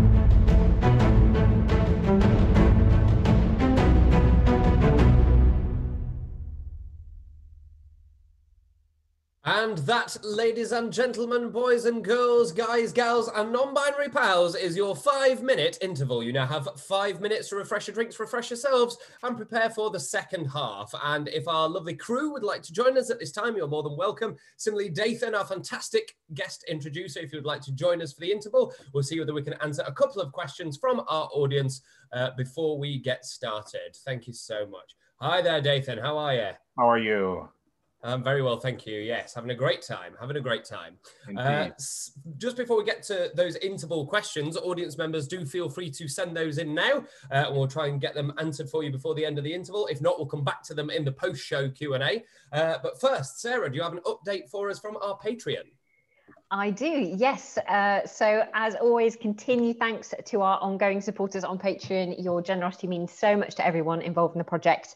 Um, I've got a few names to shout out uh, this week. A couple um, of, I think there might be usernames, so apologies if I'm mispronouncing. Um, we also have someone who's increased their donation, which is absolutely fantastic as well. Uh, so, names to shout out Lynn W., uh, Cafe Noir. It, it heard up Kirsten, Macaulay G, and Alexandra S. So thank you so much to all of those new patrons who have signed up to our uh, project. Um, if you are new to the show must go online and watching for the first time today, uh, everyone involved in the project does so voluntarily. Uh, so if you would like to tip your actors and creatives, um, then the link to our Patreon is in the video description. Uh, and you can sign up uh, to that um, for as little as you like and are able to give. Um, and in return, you will receive exclusive content on a weekly basis um, put together by our wonderful Ruth page. Um, you get all sorts of things from exclusive sneak peeks into the forthcoming show. We do actor vlogs. Uh, you get to see uh, through the windows of people around the world. So there's lots of lovely stuff on there that you will get exclusive access to.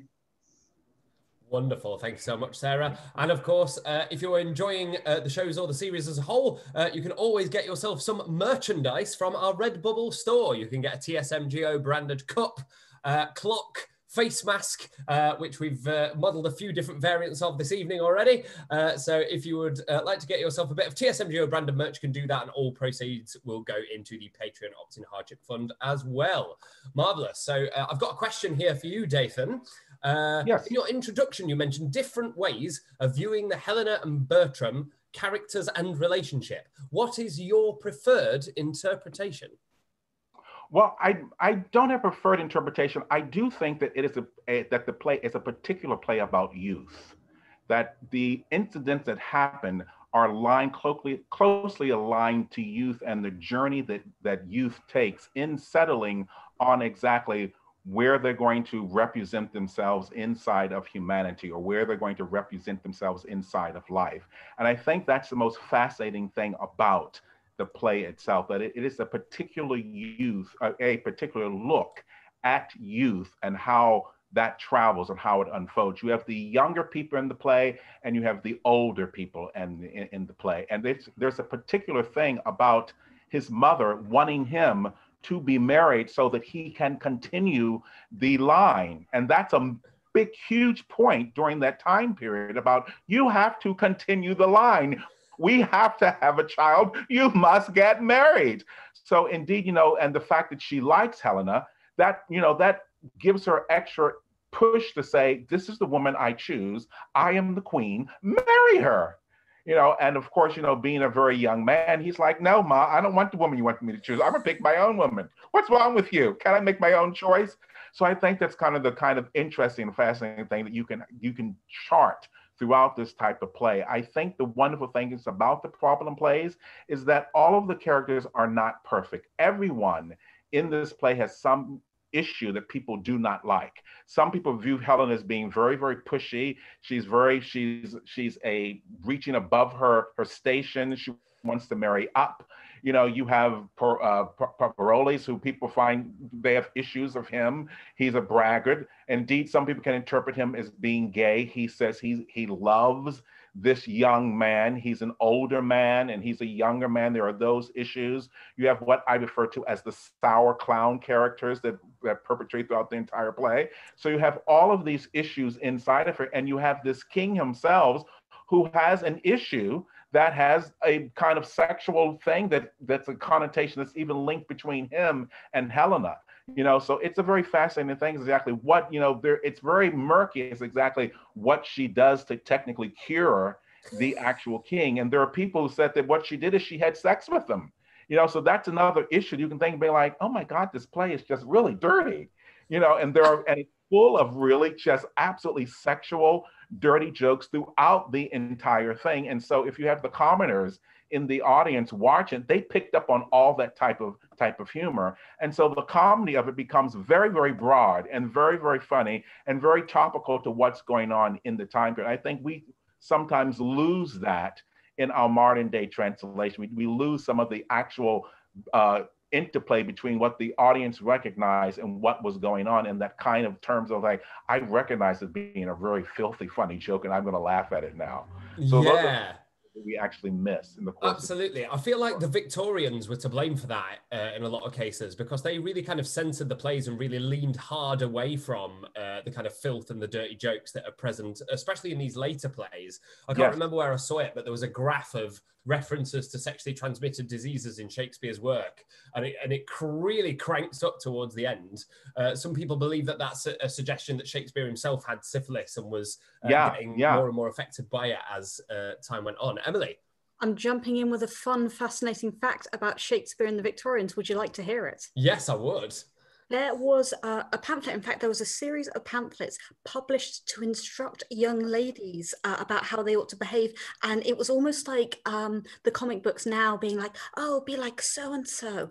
And it was all of the Shakespearean heroines, um, but they were really Bowdlerized. Um, William Bowdler was a, a, one of the dudes who basically sanitized Shakespeare for the Victorians, like published like really sort of you may have already covered this while I was like off making coffee, uh, but he, he sanitized uh, a lot of versions of Shakespeare. But the, these pamphlets got published saying, oh, be like Isabella because she's very virginal, be like Portia because she's, you know, very, and, and you know, um, all of these pamphlets just got published telling young women that they ought to be like these Shakespearean heroines, but these very sanitized versions. And that's my fascinating fact that I've interrupted with. I'm going to go backstage again.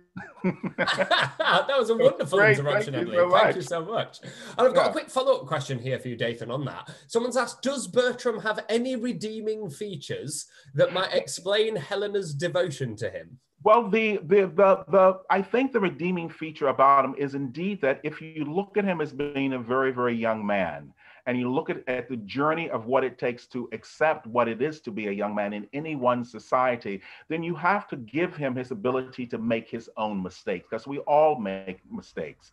And you certainly have to say that, you know, if I'm going to go along and people are choosing my mates for me, then I have the ability to not accept what you want me to actually do. And that's the kind of things I kind of look at Bertram's journey as exactly what happens inside of that fascinating for like for for for youth. And you know, indeed, you can even look at Helena and say, you know, she is actually attracted to Bertram because she has the sexual fascination with him, and she pursues it to an absolute end that she will get this man. And so, once again, if you look at the two things, they're both kind of on the exact same track. You know, she wants him. I'm going to do what I can to get him. And he's like, I don't want you. I'm going to go after the woman that I actually want. And if you look at then his ability to be this kind of just this kind of retrobate, then you're like, oh, I get it. It's youth. Youth, we make mistakes. Let him make his mistake and let him grow up because at the end of the play, the king even kind of says that, you know, this kind of all's wells that ends well is kind of based on how you interpret it and how you make life and how you use what you have in front of you to make life livable. And that's a kind of fascinating thing. You know, the marriage isn't that bad. It is a chosen marriage. And certainly during that time period, you were going to link things in a way that was going to link your lineage up or make things happy or make the and so but this marriage is kind of chosen because she is in a position that both the king and the queen like her and she's being pulled up. You know so those are the things that kind of fascinating i think i think mm. you know I, I don't think he's a he's he's as bad as we think he is I would agree with that. And I think when it comes to having to direct the play, you always want to be able to fight every character's corner so that no one just feels like a kind of two dimensional, um, you know, rubbish human. Uh, and I feel like with Bertram, he's a terrible judge of character. And that gets revealed to him through his relationship with Parolles. And that, that, lack of ability to judge character comes from the lack of life experience. It comes from naivety. And so he's easily led, he's influenced by Parolles. And then once Parolles is revealed to be what he is, and mm. Bertram sees that writ large in front of him, not only does he change his opinion of Parolles, but he starts to change his opinion of Helena as well. And then when he gets back to the court, he says, Well, now that I understand that Helena's died, I see her through a very different lens than I did before she left.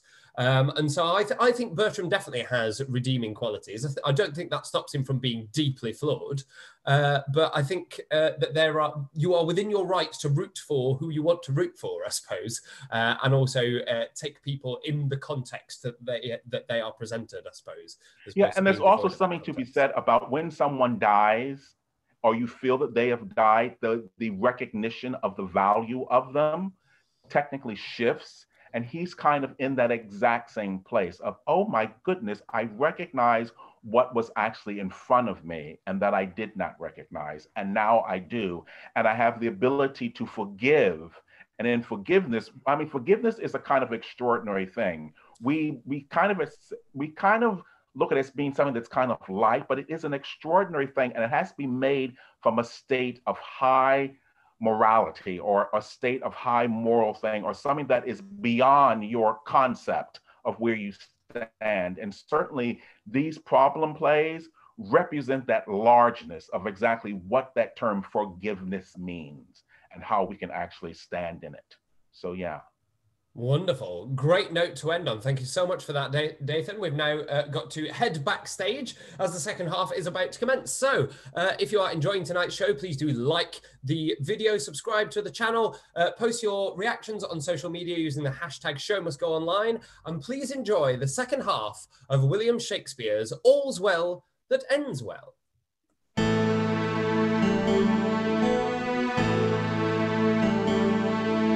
Act 4, Scene 2 Florence, the widow's house. Enter Bertram and the maid called Diana. They told me your name was Fontibelle. No, my good lord. Diana? Oh, titled goddess, and worth it with addition.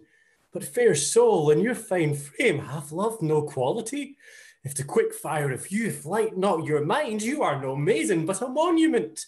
And now you should be as your mother was when your sweet self was got. He then was honest. Ah, and so should you be. No, my mother did but duty such, my lord, as you owe to your wife. Oh, no more of that. I prithee do not strive against my vows. I was compelled to her, but I love thee by love's own sweet constraint and will forever do thee all rights of service. Aye, so you serve us till we serve you. But when you have our roses, you barely leave our thorns to prick ourselves and mock us with our bareness. Oh why have I sworn? It's not the many oaths that makes the truth, but the plain single vow that is vowed true. What is not holy, that we swear not by, but take the highest to witness. Therefore, your oaths are words and poor conditions, but unsealed. At least in my opinion. Change it. Change it. Be not so wholly cruel. Love is holy in my integrity, and never knew the crafts that you do charge men with. Stand no more off, but give thyself unto my sick desires, who then recovers. Say thou art mine, and ever my love as it begins shall so persevere. I see that men may rope us in such a snare that we'll forsake ourselves. Give me that ring. Well, I lend it thee, my dear, but have no power to give it from me. Will you not, my lord? Well, it is an honour longing to our house, bequeathed down from many ancestors, which were the greatest obloquy in the world in me to lose. Mine honour's such a ring. My chastity is the jewel of our house, bequeathed down from many ancestors, which were the greatest obloquy in the world in me to lose. Thus, your own proper wisdom brings in the champion honour on my part against your vain assault. Oh, here, take the ring. My house, mine honour, yea, my life be thine, and I'll be bid by thee. When midnight comes, knock at my chamber window. I'll order take my mother shall not hear. Now will I charge you in the band of truth. When you have conquered my yet maiden bed, remain there but an hour, nor speak to me. My reasons are most strong, and you shall know them when back again this ring shall be delivered. And on your finger in the night I'll put another ring, that what in time proceeds may token to the future our past deeds. Adieu till then, then fail not. You have won a wife of me, though there my hope be done. Heaven on earth I have won by wooing thee. For which live long to thank both heaven and me. My mother told me just how he would woo, as though she sat in his heart. She says all men have the like oaths. He had sworn to marry me when his wife's dead. Therefore, I'll lie with him when I am buried. Since Frenchmen are so braid and marry that will, I live and die a maid. Only in this disguise I think it no sin to cozen him that would unjustly win. Exit. Act 4, Scene 3 The Florentine Camp. Enter the two French lords and first soldier. You have not given him his mother's letter. I have delivered it an hour since. There is something in it that stings his nature, for on the reading it, he changed almost into another man. He has much worthy blame laid upon him for shaking off so good a wife and so sweet a lady. Especially he hath incurred the everlasting displeasure of the king, who had even tuned his bounty to sing happiness to him. I will tell you a thing, but you shall let it dwell darkly with you. When you have spoke, tis dead, and I'm the grave of it. He hath perverted a young gentlewoman here in Florence, of the most chaste renown, and this night he fleshes his will in the spoil of her honor he hath given her his monumental ring, and thinks himself made in the unchaste composition. God delay our rebellion, as we are ourselves. What things we are! We shall not then have his company tonight. Not till after midnight, for he is dieted to his hour. That approaches apace. I would gladly have him see his company anatomized, that he might take a measure of his own judgments wherein so curiously he had set this counterfeit. We will not meddle with Parolles till he come, for his presence must be the whip of the other. In the meantime, what hear you of these wars? I hear there is an overture of peace. Nay, I assure you, a peace concluded. What will Count Roussillon do then? Will he travel higher or return again into France? I perceive by this demand you are not altogether of his counsel? Sir, his wife, some two months since, fled from his house. Her pretence is a pilgrimage to Saint Jaques le Grand, which holy undertaking, with most austere sanctimony, she accomplished. And there residing, the tenderness of her nature became as a prey to her grief. In fine, made a groan of her last breath. Now she sings in heaven. How is this justified? the stronger part of it by her own letters, which makes her story true, even to the point of her death. Her death itself, which could not be her office to say has come, was faithfully confirmed by the rector of the place. Hath the count all this intelligence? Aye. I am heartily sorry that he'll be glad of this. The great dignity that his valor hath here acquired for him shall at home be encountered with a shame as ample. The web of our life is of a mingled yarn good and ill together. Our virtues would be proud if our faults whipped them not, and our crimes would despair if they were not cherished by our virtues. Ah, how now? Where's your master, Bertram? He met the Duke in the street, sir, of whom he hath taken a solemn leave. His lordship will next morning for France. The Duke hath offered him letters of commendation to the king. They shall be no more than needful there, if they were more than they can commend. They cannot be too sweet for the king's tartness. Oh. Here's his lordship now. How now, my lord? Is not after midnight? I have tonight dispatched sixteen businesses. I have conged with the duke, done my adroit with his nearest, buried a wife, mourned for her, Writ to my lady mother I am returning, entertained my convoy, and between these main parcels of dispatch, effected many nicer needs. The last was the greatest, but that I have not ended yet. If the business be of any difficulty, and this morning your departure hence, it requires haste of your lordship. I mean the business is not ended as fearing to hear of, of it hereafter. But shall we have the dialogue between the fool and the soldier? Come, bring forth the counterfeit module. He's deceived me like a double meaning prophesier. Bring him forth. He's sat at the stocks all night. Poor gallant knave. No, no matter. His heels have deserved it in usurping his spurs so long. How does he carry himself? I have told your lordship already. The stocks carry him. But to answer you as you would be understood, he weeps like a wench that had shed her milk. And what think you he hath confessed? Nothing of me, has he? His confession is taken, and it shall be read to his face. If your lordship be in, as I believe you are, you must have the patience to hear it. Oh, a plague upon him. Muffled? Oh, he can say no, nothing of me. Hush, hush. Goodman comes. Por Tortarosa! Because the tortures. What will you say without them? Well, I will confess what I know without constraint. If you pinch me like a pasty, I can say no more. Posko chumurcha. Ah. Oblivindo kimi kurmurko! You are a merciful general. Our general bids you answer to what I shall ask you out of a note. Oh, and truly, as I hope to live. First, demand of him how many horse the Duke is strong. What say you to that?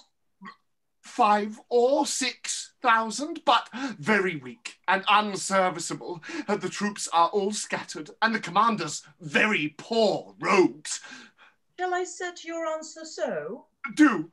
I'll take the sacrament on it, or, or how and which way you will. What a past saving slave is this? You are deceived, my lord. This is Monsieur Parolles, the gallant militarist. That was his own phrase. That had the whole theory of war in the knot of his scarf, and the practice in the shape of his dagger. oh, five or six thousand horse, I said. I, I will say true, or thereabouts. Sit down, for I'll speak truth. He's very near the truth in this. But I can con but I con him no thanks for it in the nature he delivers it. Poor rogues, I pray you say. Well, that's set down. I humbly thank you, sir. A truth's a truth. The rogues are marvellous poor. Demand of him of what strength they are afoot. What say you to that? By my troth, sir, if I were to live this present hour, I will tell true. Let me see. Uh, Spurio, 150. Uh, Jaques, so many. Gaetan, Cosmo, Lodovic, and Grati, 250 each. Mine own company. Christopher, Valmont, Benty, 250 each. So that the muster file, rank and sound, upon my life, amounts to not more than 15,000 poll. Uh, half the which shall dare not shake the snow from off their cassocks, lest they shake themselves to pieces. What shall be done to him? Nothing. Let him have thanks. Uh, demand him my condition and uh, what credit I have with the Duke. Well, that's set down. You shall demand of him whether one Captain Dumain be in the camp, a Frenchman, what his reputation is with the Duke, what his valor, honesty, and expertness in wars, or whether he thinks it were not possible with well weighing sums of gold to corrupt him to a revolt. What say you to this? What do you think of it? I beseech you to let me answer the particular of the interrogatories. Uh, demand them singly?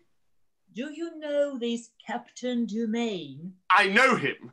I was a butcher's apprentice in Paris, from whence he was whipped for getting the Shreve's fool with child, a dumb innocent that could not say him nay.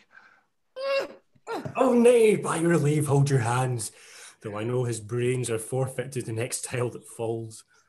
Well, is this captain in the Duke of Florence's camp? Upon my knowledge, he is, and lousy. Nay, look not so upon me. We shall hear of your lordship soon. What is his reputation with the Duke? The Duke knows him for no other than an poor officer of mine, and writ to me the other day to turn him out of the band. I think I have his letter in my pocket. Marry, we'll search. Oh, uh, in good sadness, I, I do not know. Uh, uh, either it is there, or it is upon a file with the Duke's other letters in my tent. Here it is. Here's the Oh. paper. Shall I read it to you? Well, I do not know if it be it or no. Our interpreter does it well. Excellently. Diane, the Count's a fool and full of gold. That is not the Duke's letter, sir. That is an advertisement to a proper maid in Florence, one Diana, to take heed of the allurement of one Count Roussillon, a foolish, idle boy, but for all that, very ruttish. And I pray you, sir, put it up again. Nay, I'll read it first by your favor. Well, well, well, my meaning in it, I, I protest, was very honest in the behalf of the maid, for I knew the young count to be a dangerous and a lascivious boy who is a whale to virginity and devours up all the fry it finds. Damnable, both sage rogue. When he swears oath, bid him drop gold and take it. After his cause, he never pays the score. And say a soldier, Diane, told you this. Men are to mell with, boys are not to kiss. For count of this, the count's a fool, I know it, who pays before, but not when he does owe it. Thine, as he vow it, do thee, in thine ear, Parolles. He shall be whipped through the army with this rhyme in his forehead. This is your devoted friend, sir, the manifold linguist and the omnipotent soldier. I perceive, sir, by the general's look. We shall be fain to hang you.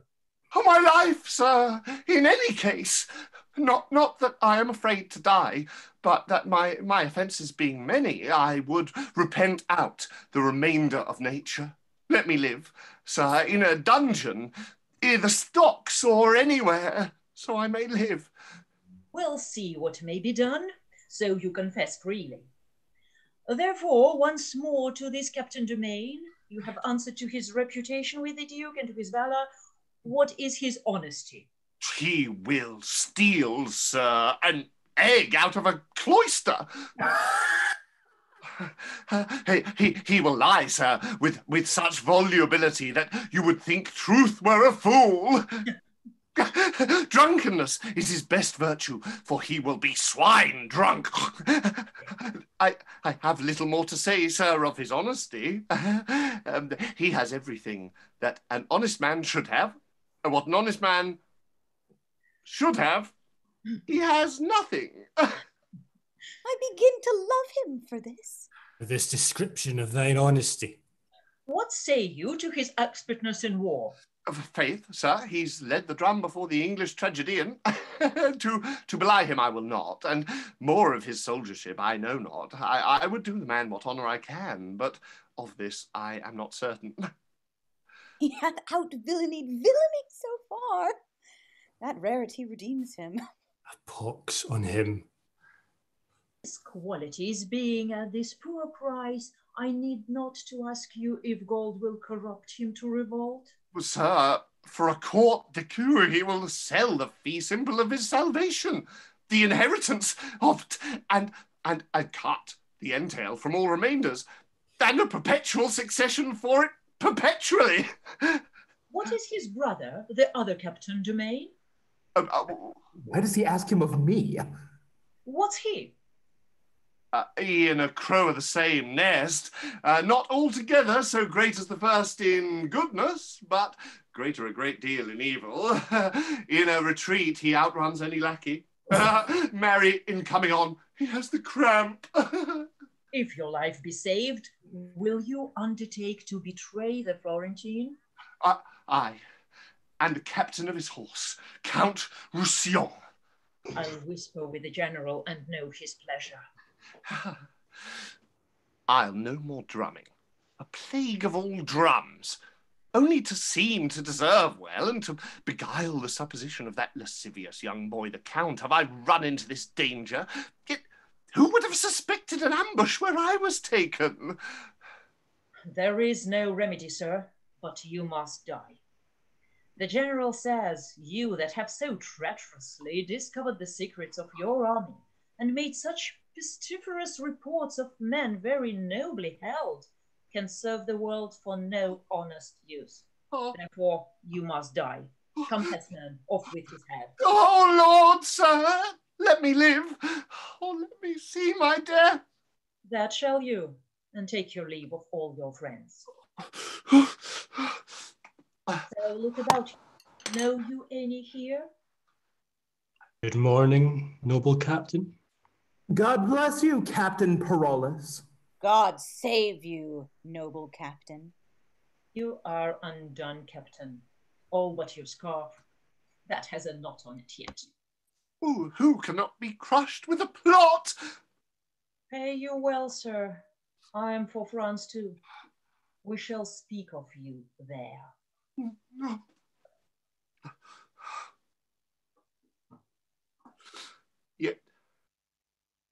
I am thankful. If my heart were great, 'twould burst at this. Captain, I'll be no more. But I will eat and drink and sleep as soft as Captain may. Simply the thing I am shall make me live. Who knows himself a braggart? Let him fear this, for it will come to pass that every braggart shall be found an ass. Rust sword, cool blushes, and Parolles live safest in shame. Being fooled, by foolery thrive. There's place and means for every man alive. Huh. I'll after them. Exit. Act 4, Scene 4 Florence, the widow's house. Enter Helen, widow, and Diana.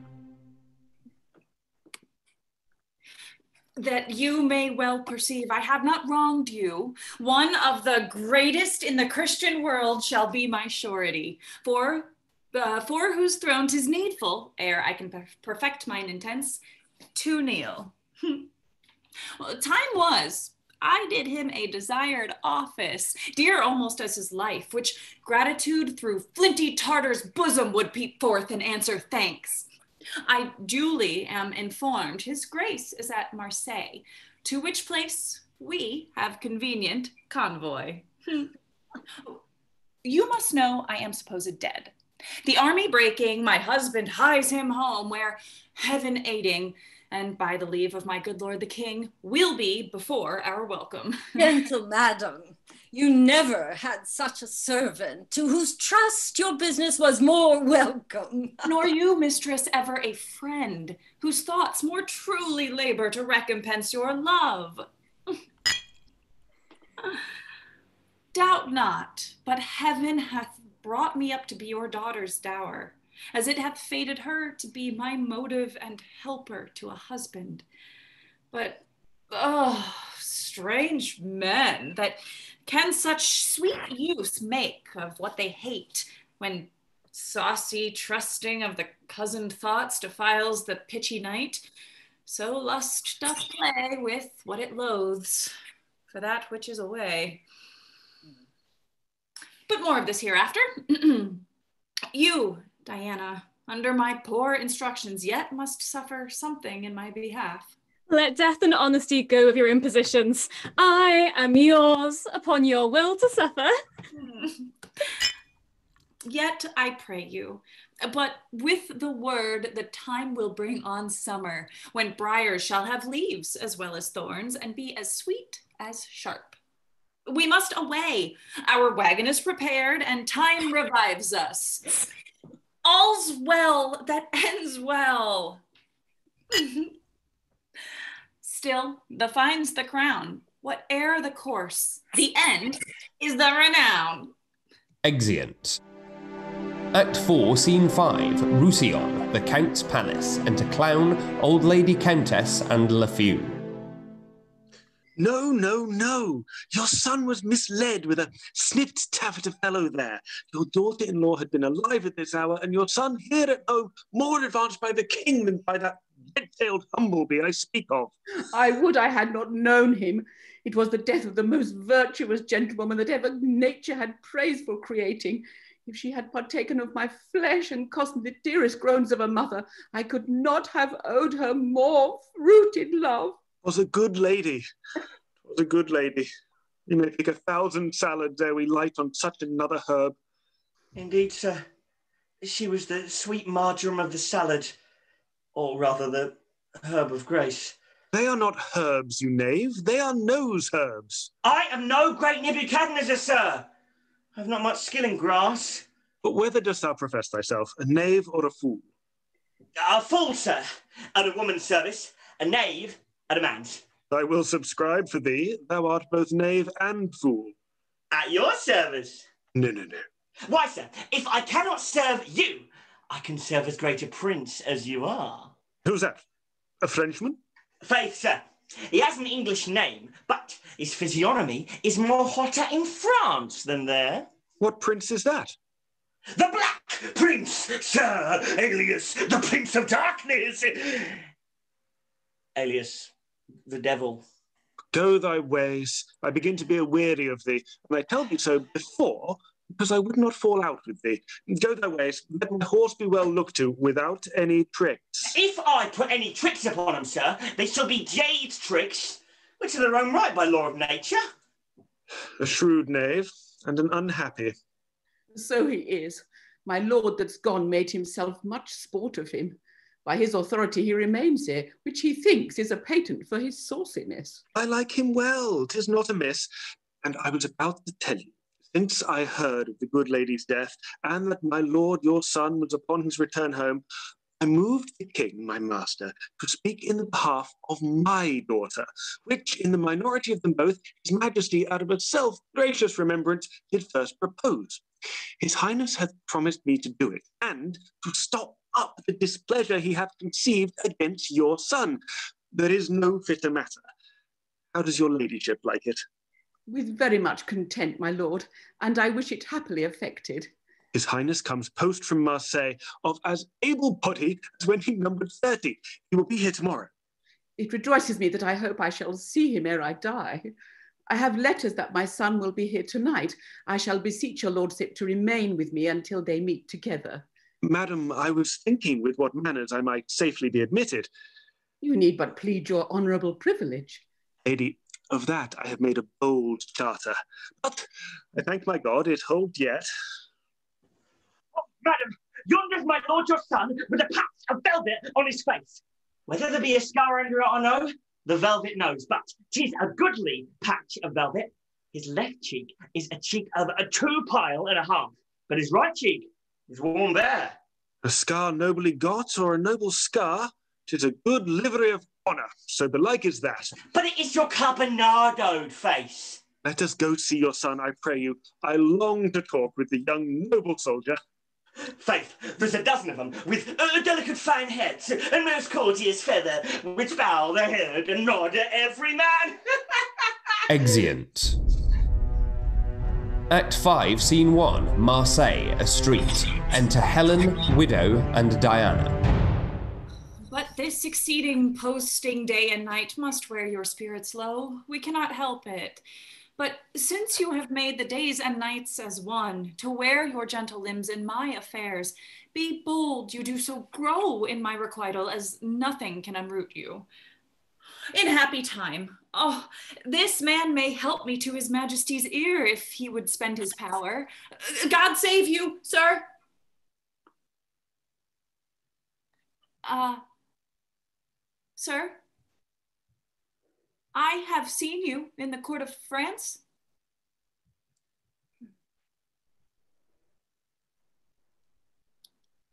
sir? I suppose he's been around some time. Hmm. Well, thy lips do move, but I do hear thee not. Hmm. I do presume, sir, that you are not fallen from the report that goes upon your goodness, and therefore goaded with most sharp occasions, which lay nice manners by, I put you to the use of your own virtues, for the which I shall continue thankful. Uh, what's your will?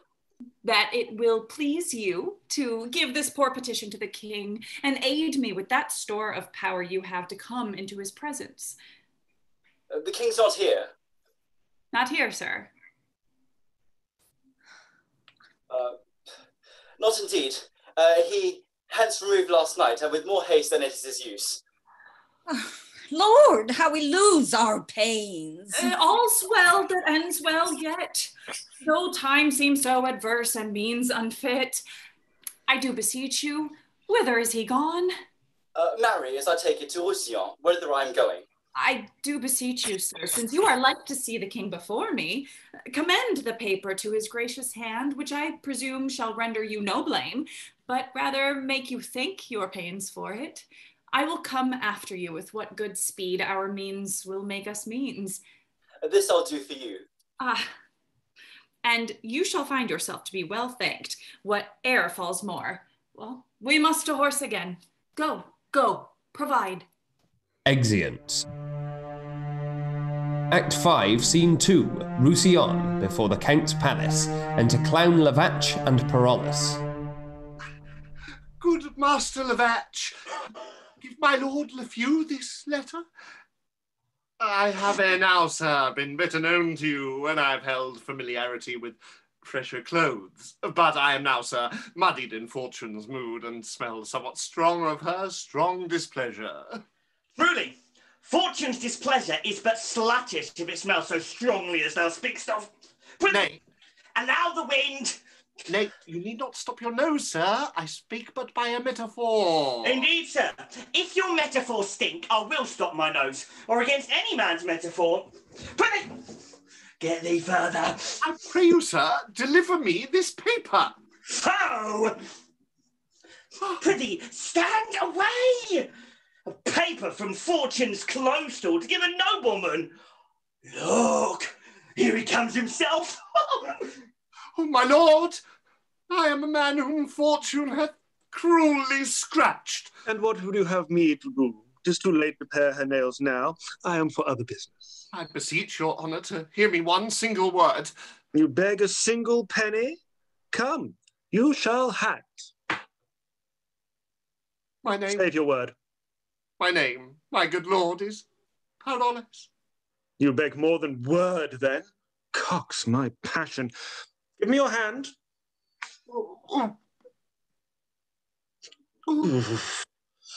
How does your drum? Oh, my good lord, you were the first that found me. Was I, in sooth? And I was the first that lost thee. It lies in you, my lord, to bring me in some grace, for you did bring me out. Out upon thee, knave. Dost thou put upon me at once both the office of God and the devil? One brings thee in grace, and the other brings thee out. King's coming. I know by his trumpets. Sirrah, inquire further after me. I had talk of you last night. Though you are a fool and a knave, you shall eat. Go to, follow. I praise God for you. Exeunt. Act 5, Scene 3, Roussillon, the Count's palace. Enter King, Old Lady Countess, Lafew, and two French lords, a guard. Lost a jewel of her, and our esteem was made much poorer by it. But your son, as mad in folly, lacked the sense to know her estimation home.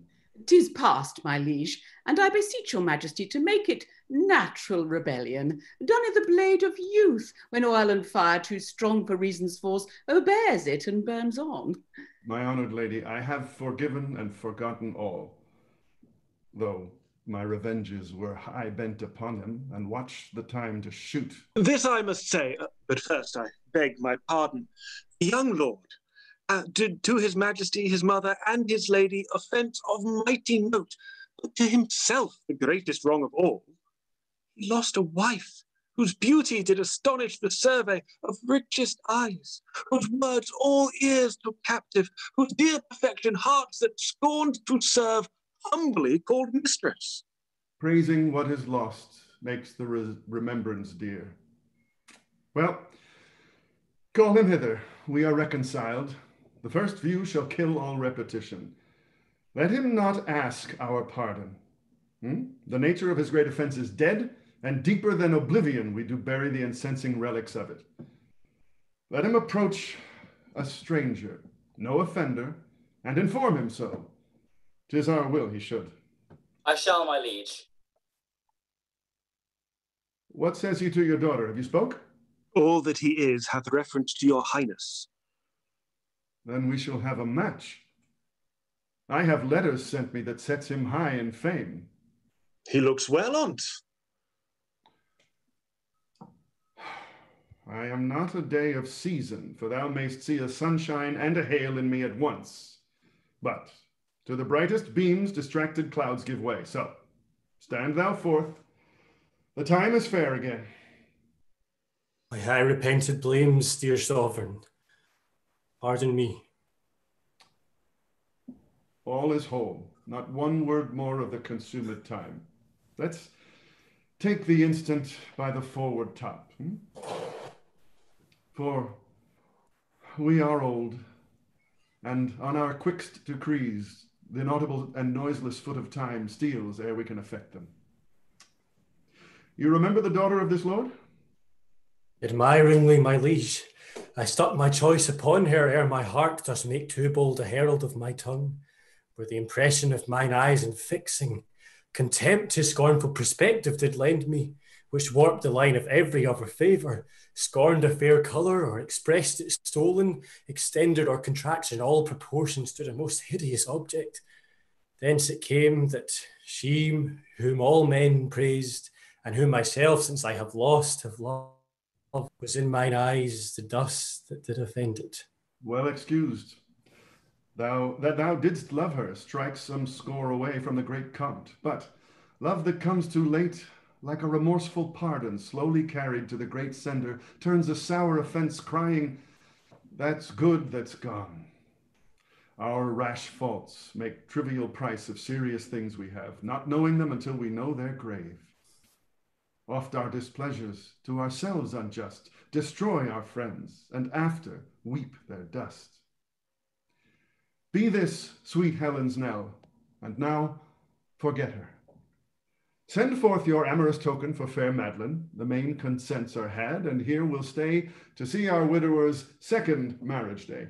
Which better than the first, O dear heaven bless, or ere they meet in me, O nature cease. Come on, my son, in whom my house's name must be digested. Give favour from you to sparkle in the spirits of my daughter, that she may quickly come. By my old beard and every hair that's on, Helen was dead, was a sweet creature.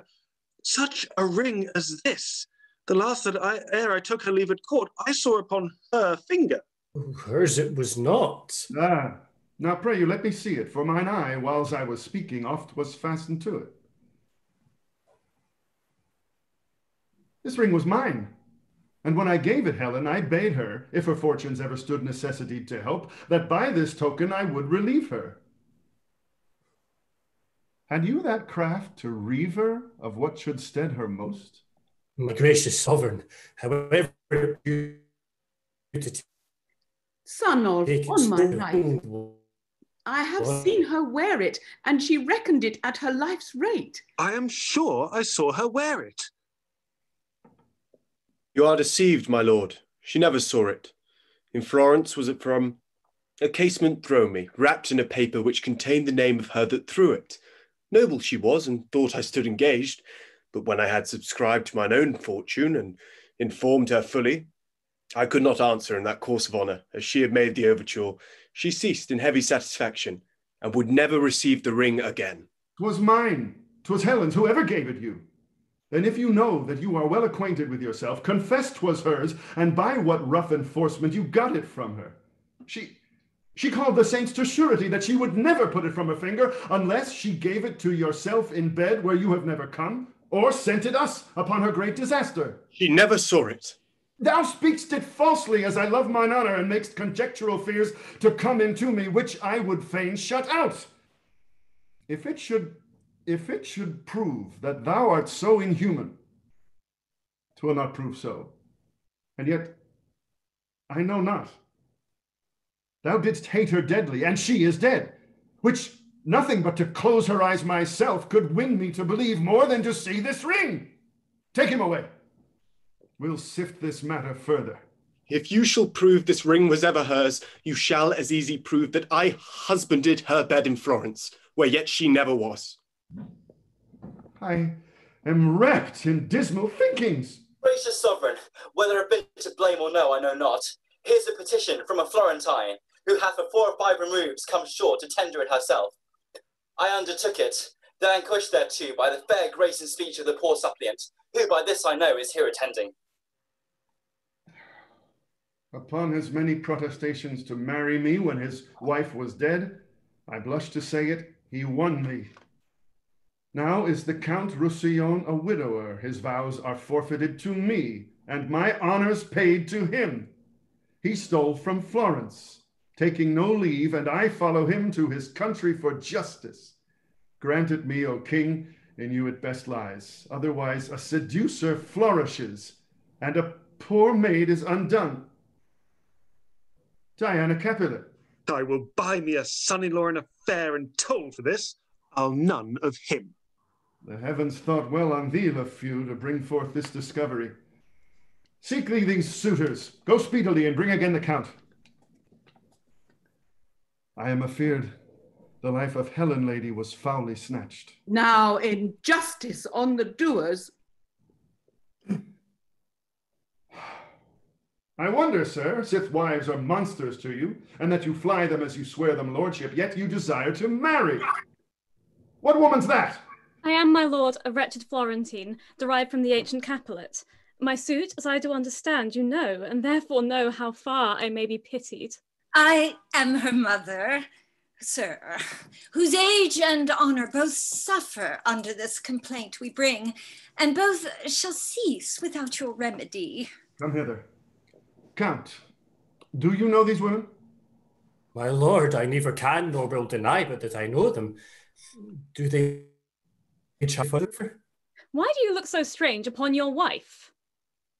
She is none of mine, my lord. If you shall marry, you give away this hand, and that is mine. You give away heaven's vows, and those are mine. You give away myself, which is known mine. For I by vow am so embodied yours that she which marries you must marry me, either both or none. Your reputation comes too short for my daughter. You are no husband for her. My lord, this is a fond and desperate creature whom sometime I have laughed with.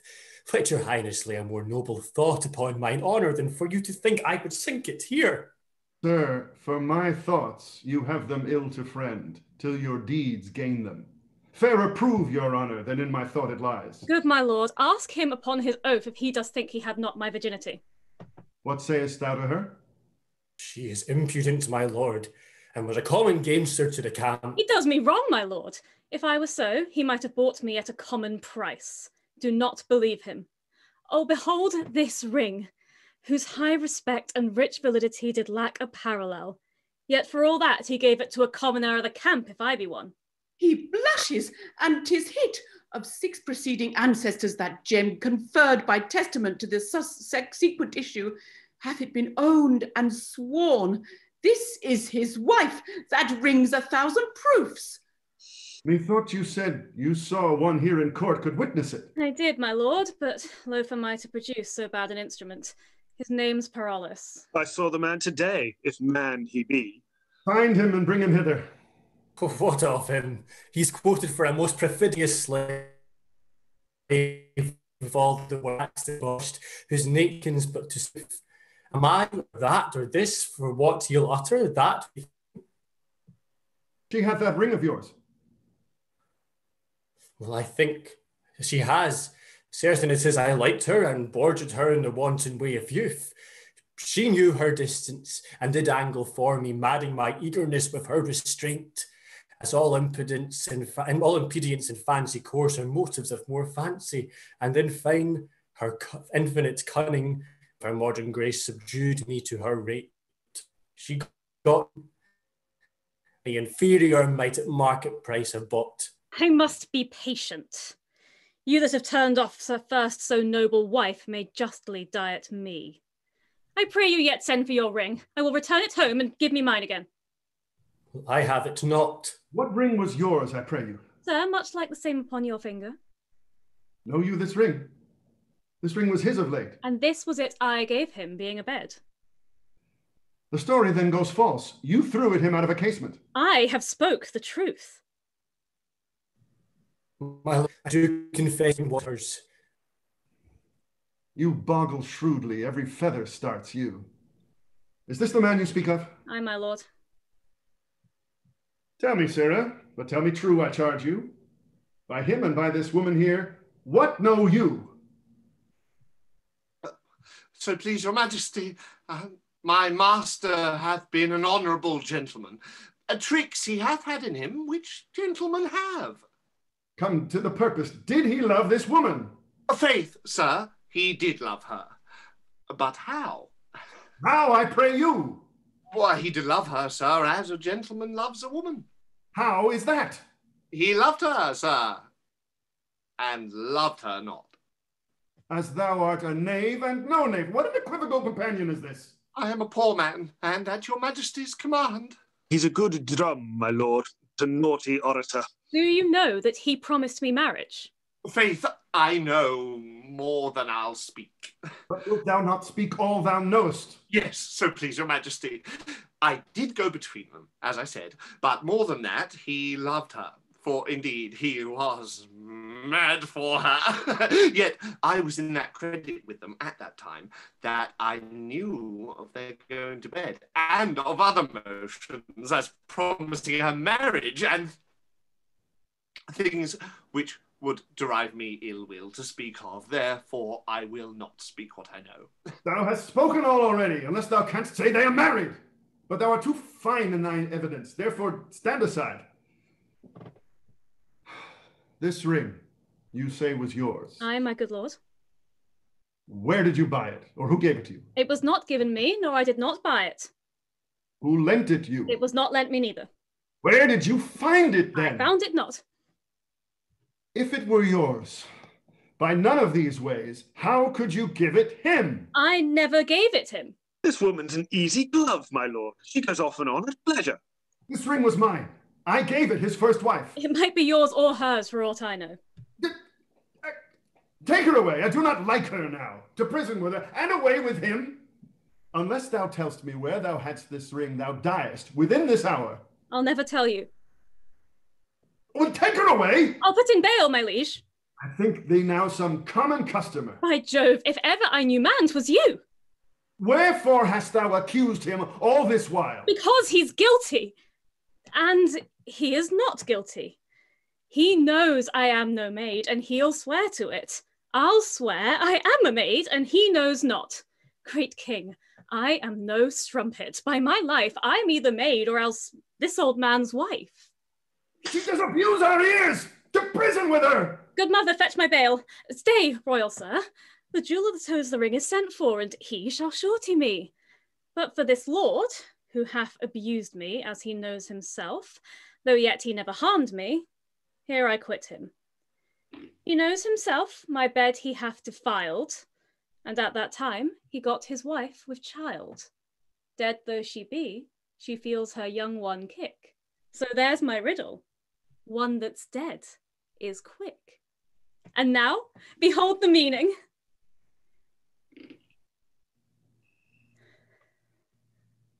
Is there no exorcist beguiles the truer office of mine eyes? Is't real that I see? No, my good lord. Tis but the shadow of a wife you see, the name, and not the thing. Both. Both. Oh, Pardon. No, my good lord, when I was like this maid, I found you wondrous kind. There's your ring. Oh, and look you, here's your letter. ah, this it says. Uh, when from my finger you can get this ring and are by me with child, etc. This is done.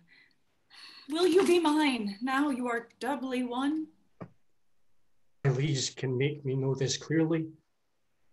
I love her dearly. Ever, ever dearly. If it appear not plain and prove untrue, deadly divorce step between me and you. Oh, my dear mother, do I see you living? Mine eyes smell onions.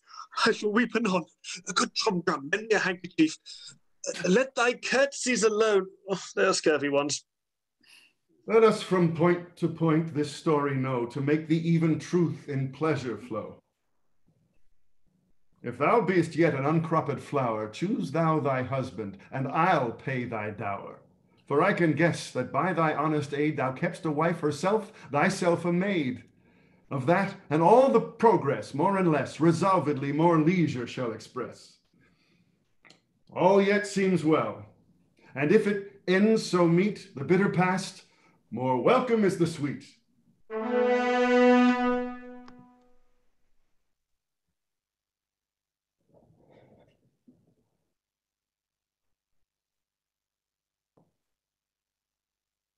The king's a beggar now. Play is done.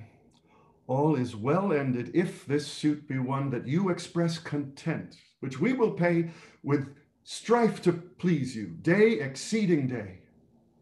Ours be your patience then, and you, yours, our parts. Your gentle hands lend us, and take our hearts. Exit.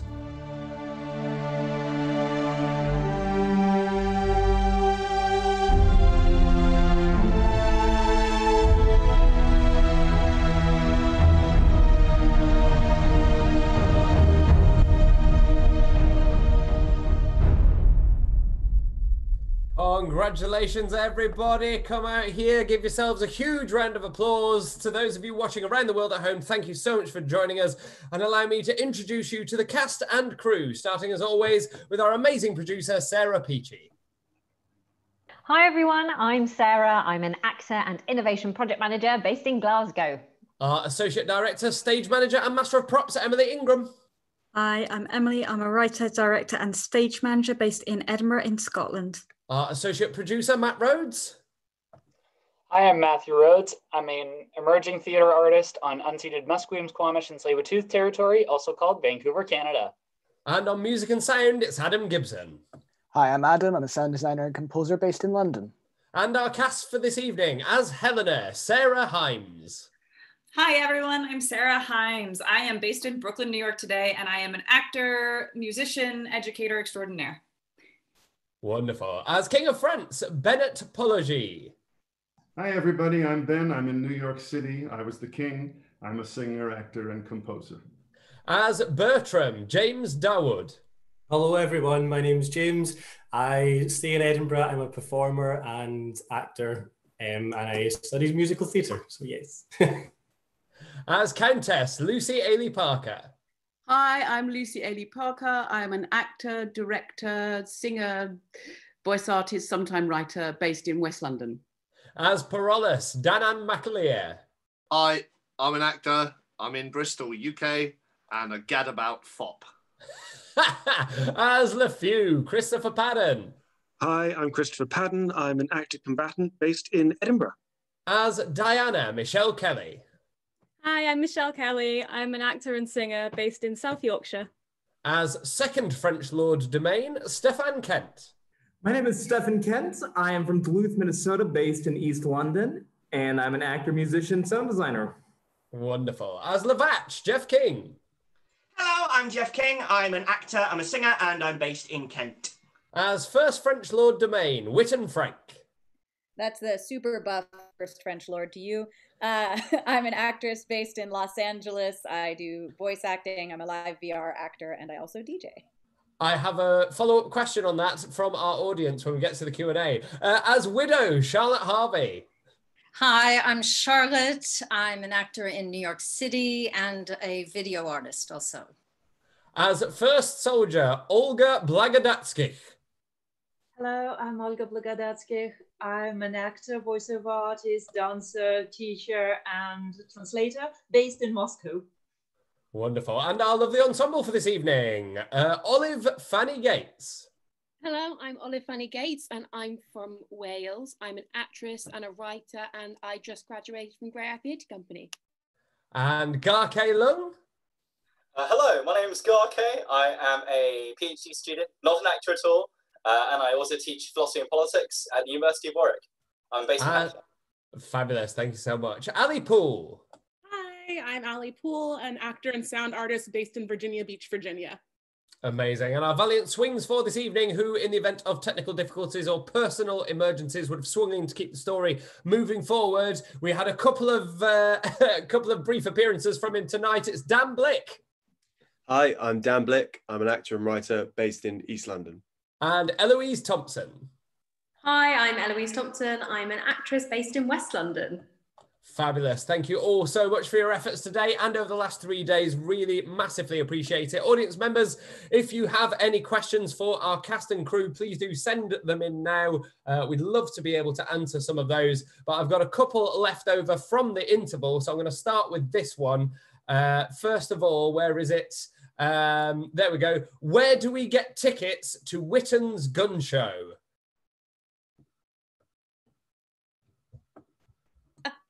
It's over to you, Witten. um, you know, lots of hard work. I have an amazing trainer who's actually English herself, Jill Penfold. So I have to thank her. I'm not sure if she's watching or not. Um, not to sort of use this, but I do do a VR version of The Tempest on Oculus Quest, so you can get tickets for that through the Under Presents. Amazing. Fantastic. Thank you so much. Um, marvelous. Sarah, do we, did we get any other questions at the interval that we didn't manage to get to? Um, so the, yeah, there was a couple of things that had uh, come up um, that would be good to talk about. So one of them um, was about the aesthetic of the show this week, and particular props to the amazing hats all round. there was a question. Maximum I think, where effort, did we get everyone. the hats from? effort. The hats are all from the actors, actors' own provided hats. So if there's any interesting stories. Uh, go for it, Emily. Can I actually highlight in particular Olga's hat, uh, which is actually a, a sun hat masquerading as a tricorn with, I think it was, was it three staples or three stitches, Olga? Do you want to show them? That were three stitches actually, and the the feather made of paper. Yeah, but it, it's just a straw sun hat that Olga, yeah, managed to transform into this glorious tricorn. I just wanted, all of the hats were fantastic, but I just wanted to really shine a spotlight on that one. Absolutely. It, it just felt right, this, for this play. You know, it's based in France. There's re- references to muskets.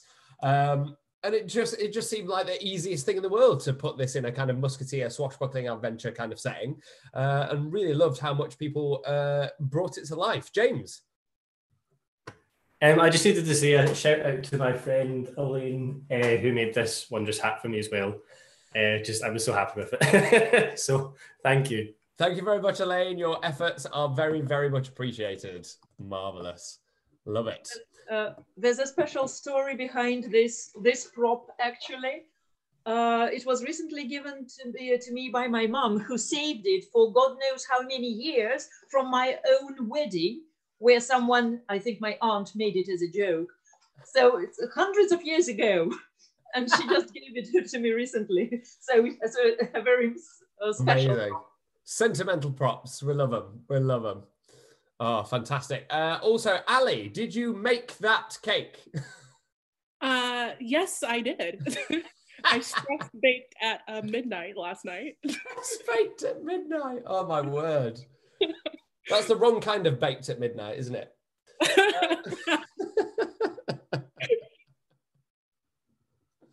Wonderful.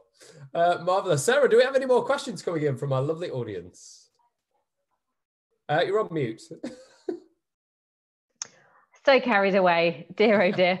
Um, yes, I've got one that's come through here, uh, which is for our lovely Sarah, so Helena. Um, uh, first of all, a wonderful, vibrant performance. Um, so this person said, interested to know how or if Helena's opinion changes on Bertram as the play progresses, especially with his behaviour in Act Five. Uh, I think that maybe she's she's known Bertram a long time. She's been watching from the side. I'm not sure that she's surprised by anything. I think she's hopeful. I think I think her trajectory is all based on hope. Um, at least as far as Bertram's concerned. So uh, I think that she's maybe not surprised, but um, maybe proud of herself and her new girlfriends uh, for their accomplishments and hopeful that it was like a really not great stumbling point to get to where she believes they deserve to be together. I love it. Accentuate the positive. Absolutely. I think dramaturgically, it's. Um, I think it's essential that um, she's not in the room for a lot of Act Five. yeah. you know, yeah. he gets pretty uh, pinned in a corner there and does some interesting gymnastics to try and get out of it. She just sort of trusts that it'll work out at the end. She has to. I just want to briefly ruin another movie for people. So uh, we had a, a brief uh, discussion about this uh, while we were first talking about the show as a whole, uh, and the fact that if the genders were inverted in this play, it might be uh, looked at very differently. And of course, if that was the case, then Bertram is basically Mulan because he doesn't want to stay in a domestic role, uh, bearing children in the home. He wants to go off and join the military. So you know, you could always look at it that way. if you if you're trying to find a way to get Bertram off the hook. It's it's problematic on a handful of levels, right? But yeah. I, I like that perspective a lot as well. absolutely, absolutely. There's no escaping really the difficulties that are um, you know intrinsic to this play. Uh, we talked about as a as a kind of content warning at the start of the show the lack of consent, informed consent for Bertram as well. Um, so, you know, if you look at it from that uh, perspective, uh, Bertram, because his is verbalized, I suppose, and it, it's more staged, it's more stage time is taken to show his flaws uh, and his kind of sins, if you like. Um, uh, you know, we, we spend a lot of energy talking about his shortcomings, but at the same time, Helena's device to get to where she wants to go to, viewed in modern context, is pretty bleak as well, unfortunately. Um, it's one of those reasons that this play feels almost like a kind of Oscar Wildean gallop uh, because if you stop to think too much about anything that's happening, you start to go, mm, yeah, I don't like it. Dathan, how do you find the ending of this play? Uh, I find the ending of the play to be a, a, curious thing. I do like the title. The title is All's Well That Ends Well. And I think you kind of have to take that kind of literally in terms of us. You know, most people always think a comedy should end. And, and of course, in that classical sense, all of comedies end with a marriage. And so, in, in terms of a comedy, it ends with a marriage but you also have to think of what the title means. You know, all's well that ends well. And indeed, if the means to the end is what was supposed to be achieved, then the ending is actually well ended. And it also, and if indeed, if the overall arc of this is that Bertram must marry to carry on the heritage, then what the circumstances to get him to do so ends well, and therefore my lineage will carry on. So there are kind of really complicated things inside of exactly what that title means and exactly how it all ends up. And indeed, as the uh, king says, you know, you have to, it lines on that if. If if this ends well, then this will will follow things. So you kind of have to, as you you kind of have to put into any situation what you want to get out of that situation.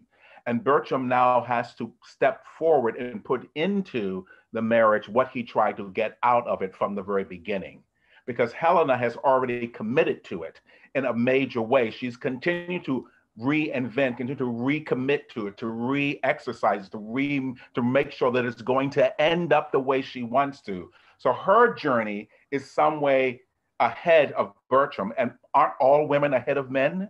So therefore, here we are with making the man accept this is the journey you're going to go on. Just come with me.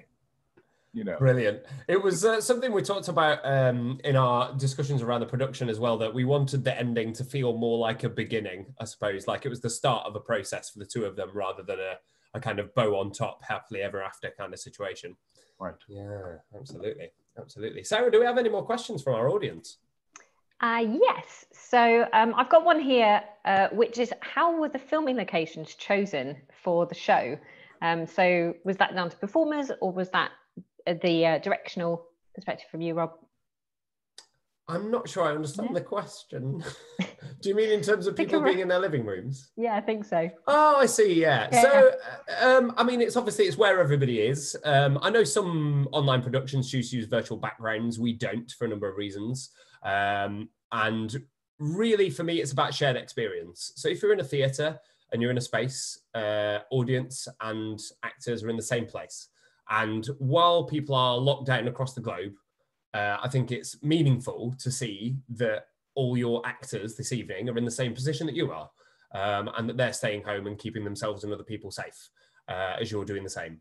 Uh, and so for me, I think it, was- it was more about that than anything else. Really, it's the um, it's the Henry V chorus, isn't it? Letters on your imaginary forces work, um, and it just feels like um, there's a better chance of us doing that if we acknowledge the conceit in the way that the Globe would have had, you know, barely any set dressing. You're just told we're in the orchard, and you go, cool, fine. Uh, and I think of, often with online productions, especially if you start going into the virtual space of, of, of trying to make it work, um, you get an uncanny valley effect where things that are like photorealistic can start to trick the brain into thinking that it's actually more weird, more strange, less real um, than uh, things that are maybe a bit more illustrative, I suppose. Um, so that's why we do it the way we do. Thank you for your question. Uh, do we have any more, Sarah?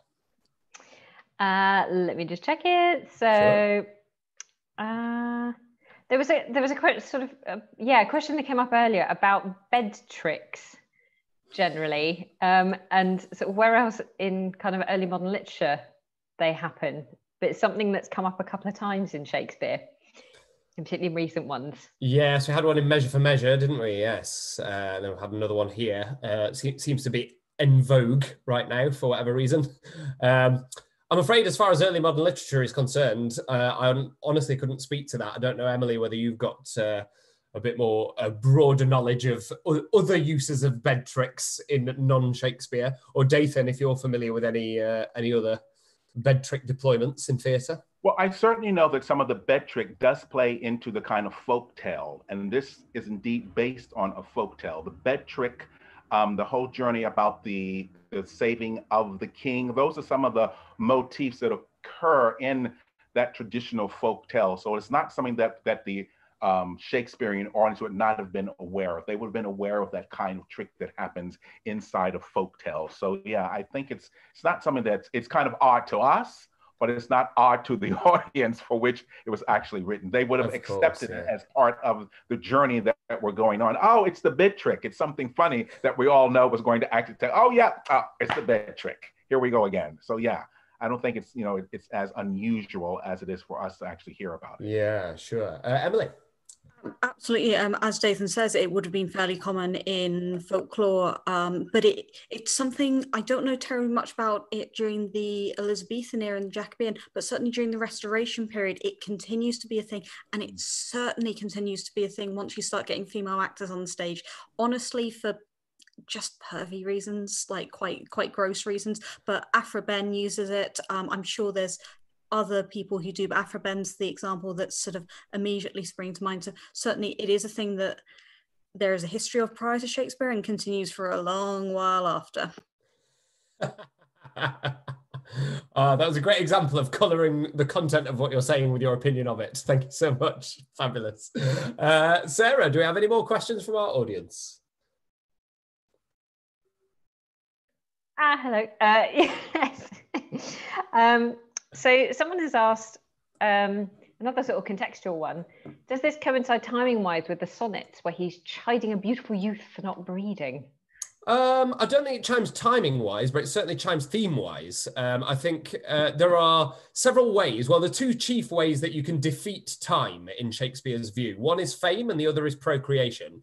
And all the fair youth sonnets are talking about You can't carry on like this. You've got to procreate. Um, and uh, because, uh, of course, I th- is it the Earl of, which Earl is it? Rochester that it's written to? Henry Wolsey. Um, Earl of and- Southampton. Earl of South. Earl of Southampton, thank you so much. Um, and uh, that you can find portraiture of the Earl of Southampton uh, that shows him to be uh, what has been described as effeminate. I suppose he would wear his hair in a way, way that was considered girlish. He would wear makeup, a little bit like some of our powdered fops for this evening. Uh, and uh, he was considered uninterested in marriage. And so a lot of the sonnets are there to appeal to him to uh, submit to marriage uh, in order to uh, continue his family line, which is that big theme that uh, you were talking about, Dathan.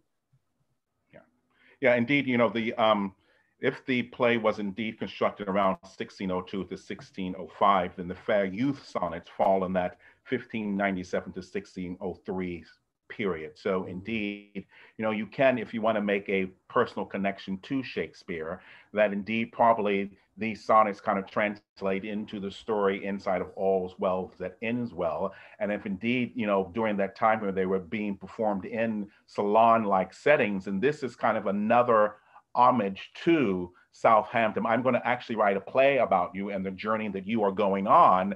And therefore, I, I have the sonnets that are, you know, that will be passed around personally inside of our community. But I'm also going to construct a play for you to honor you even further and to comment on the journey that you're actually going through. So it's a kind of fascinating thing that's a kind of neat, kind of like inside tale. Absolutely, and it, it's all kind of hinges on, as I understand it, the the need for patronage of the arts and the fact that that would come from wealthy nobles who would essentially commission work to an extent. Um, is that correct? Yes. Yeah, wonderful, wonderful. Thank you so much for that, Dathan. Um, any more questions before we say good night for the evening, Sarah? Um, let me just check. Uh, so. I've got one here for for Danann actually. Um, that uh, was is a very different character um, from the last one you played with us a few weeks ago. um, which do you prefer? No. Uh, this one. No, you can't prefer either, right? I mean, that's why you're an actor. You want to be different people. It's it's just joyful though because you know Bolingbroke's very you know honourable and yes, of course he's got his flaws and maybe he's a little liar really underneath. Maybe he's actually a bit more Parolles than people presume. But um, you know, I love that Parolles just wears it all on his sleeve and you know whatever you think of him, he's essentially this character who lives by pleasure and you know who of us hasn't been a coward at some point in his life? You know there's so much dissing cowards and oh you know he's a coward. We're all cowards really naturally if we're sane. So uh, i do i do have a real soft spot for Parolles because i think maybe he's not misunderstood at all. He's absolutely clear cut everyone knows exactly who he is by the end. But at the same time he owns it and he's consistent. So you've got to love that. But you know bolingbroke he did a solid job as well to be fair to him yeah Wonderful, thank you so much, Dathan. You played Parolles. Uh, I think you said in your introduction. How did you find him as a character? Yes, I did play him, and indeed, um, you know, in our journey when I was talking with um, with our director, our decision to make him into a kind of gay character was kind of indeed kind of linked to my knowledge about the actual sonnets and exactly that whole situ- you know that whole situation and how this might be a kind of fascinating interpretation. That indeed, if it was something that was inside of the court, that this relationship was being put forward on the stage in a kind of interesting way, that kind of that journey comes through it. I think he's a very fascinating character. I did some research earlier about um, what characters like this represent in Shakespeare's time. And indeed, um, characters that were thought to had that kind of questionable sexuality are kind of villainized. And he in this play has a big, huge everyone puts a big, huge journey of making him kind of like the villain. He's kind of outside of the entire environment. Everything's about that. It's a very fascinating thing, you know, that lines about that, that you outed me when he says, you know, you you found me out beforehand. And there's a kind of a journey between those two characters, Lafew and Parolles, they kind of have a kind of lineage that someone decided I'm going to honor who I am and take that journey, and you're going to stay back and hide yourself inside the kind of court and inside the manners to kind of trap you into who you are actually technically going to be. I, you know, and I do find that the journey of them uh, capturing him and hooding him and actually in some way torturing him. And at his, you don't know if he's telling lies, if he's making the stories up to actually save himself. And that's a very fascinating thing. I mean, who would not, if you are being tortured, manufacture tales that are going to let to, to let them let you go. And if you've always been in this journey where someone sees you as an outsider, then your ability to be outside is not going to harm you. And your ability to stand and tell the truth is not going to. And at the end, he tells the truth about Bertram again. He did sleep with her, he did not sleep with her. He tells, he tells the truth. And I think part of Bertram's ability to kind of say that, oh my God, he actually reveals who I am. And I'm not happy with that. I'm still not happy with my own journey and my own tell. So I have to separate from him because that's not the way I want to go. So it's a kind of fascinating thing to kind of look at those relations, how they translate and how they kind of play out. Because, you know, he kind of disappears at the end of the play. No one questions where he goes. Everyone else is kind of, but he just disappears. And so why are they once again shedding this character? He just disappears. No one no one makes those. Oh, where, where are you going to go? They just leave him be. So is he still going to be part of the society, or is he going to be executed completely outside? And where does this man go on on his journey? So it's a kind of a lovely question that kind of again we talk about problem plays. That in the conclusion of this play, the question of whether or not things end well is still left for the audience to technically make that decision everyone's journey in there ends not well technically, but how you handle that is the journey you're going to go on. I think that's the beauty about the problem plays.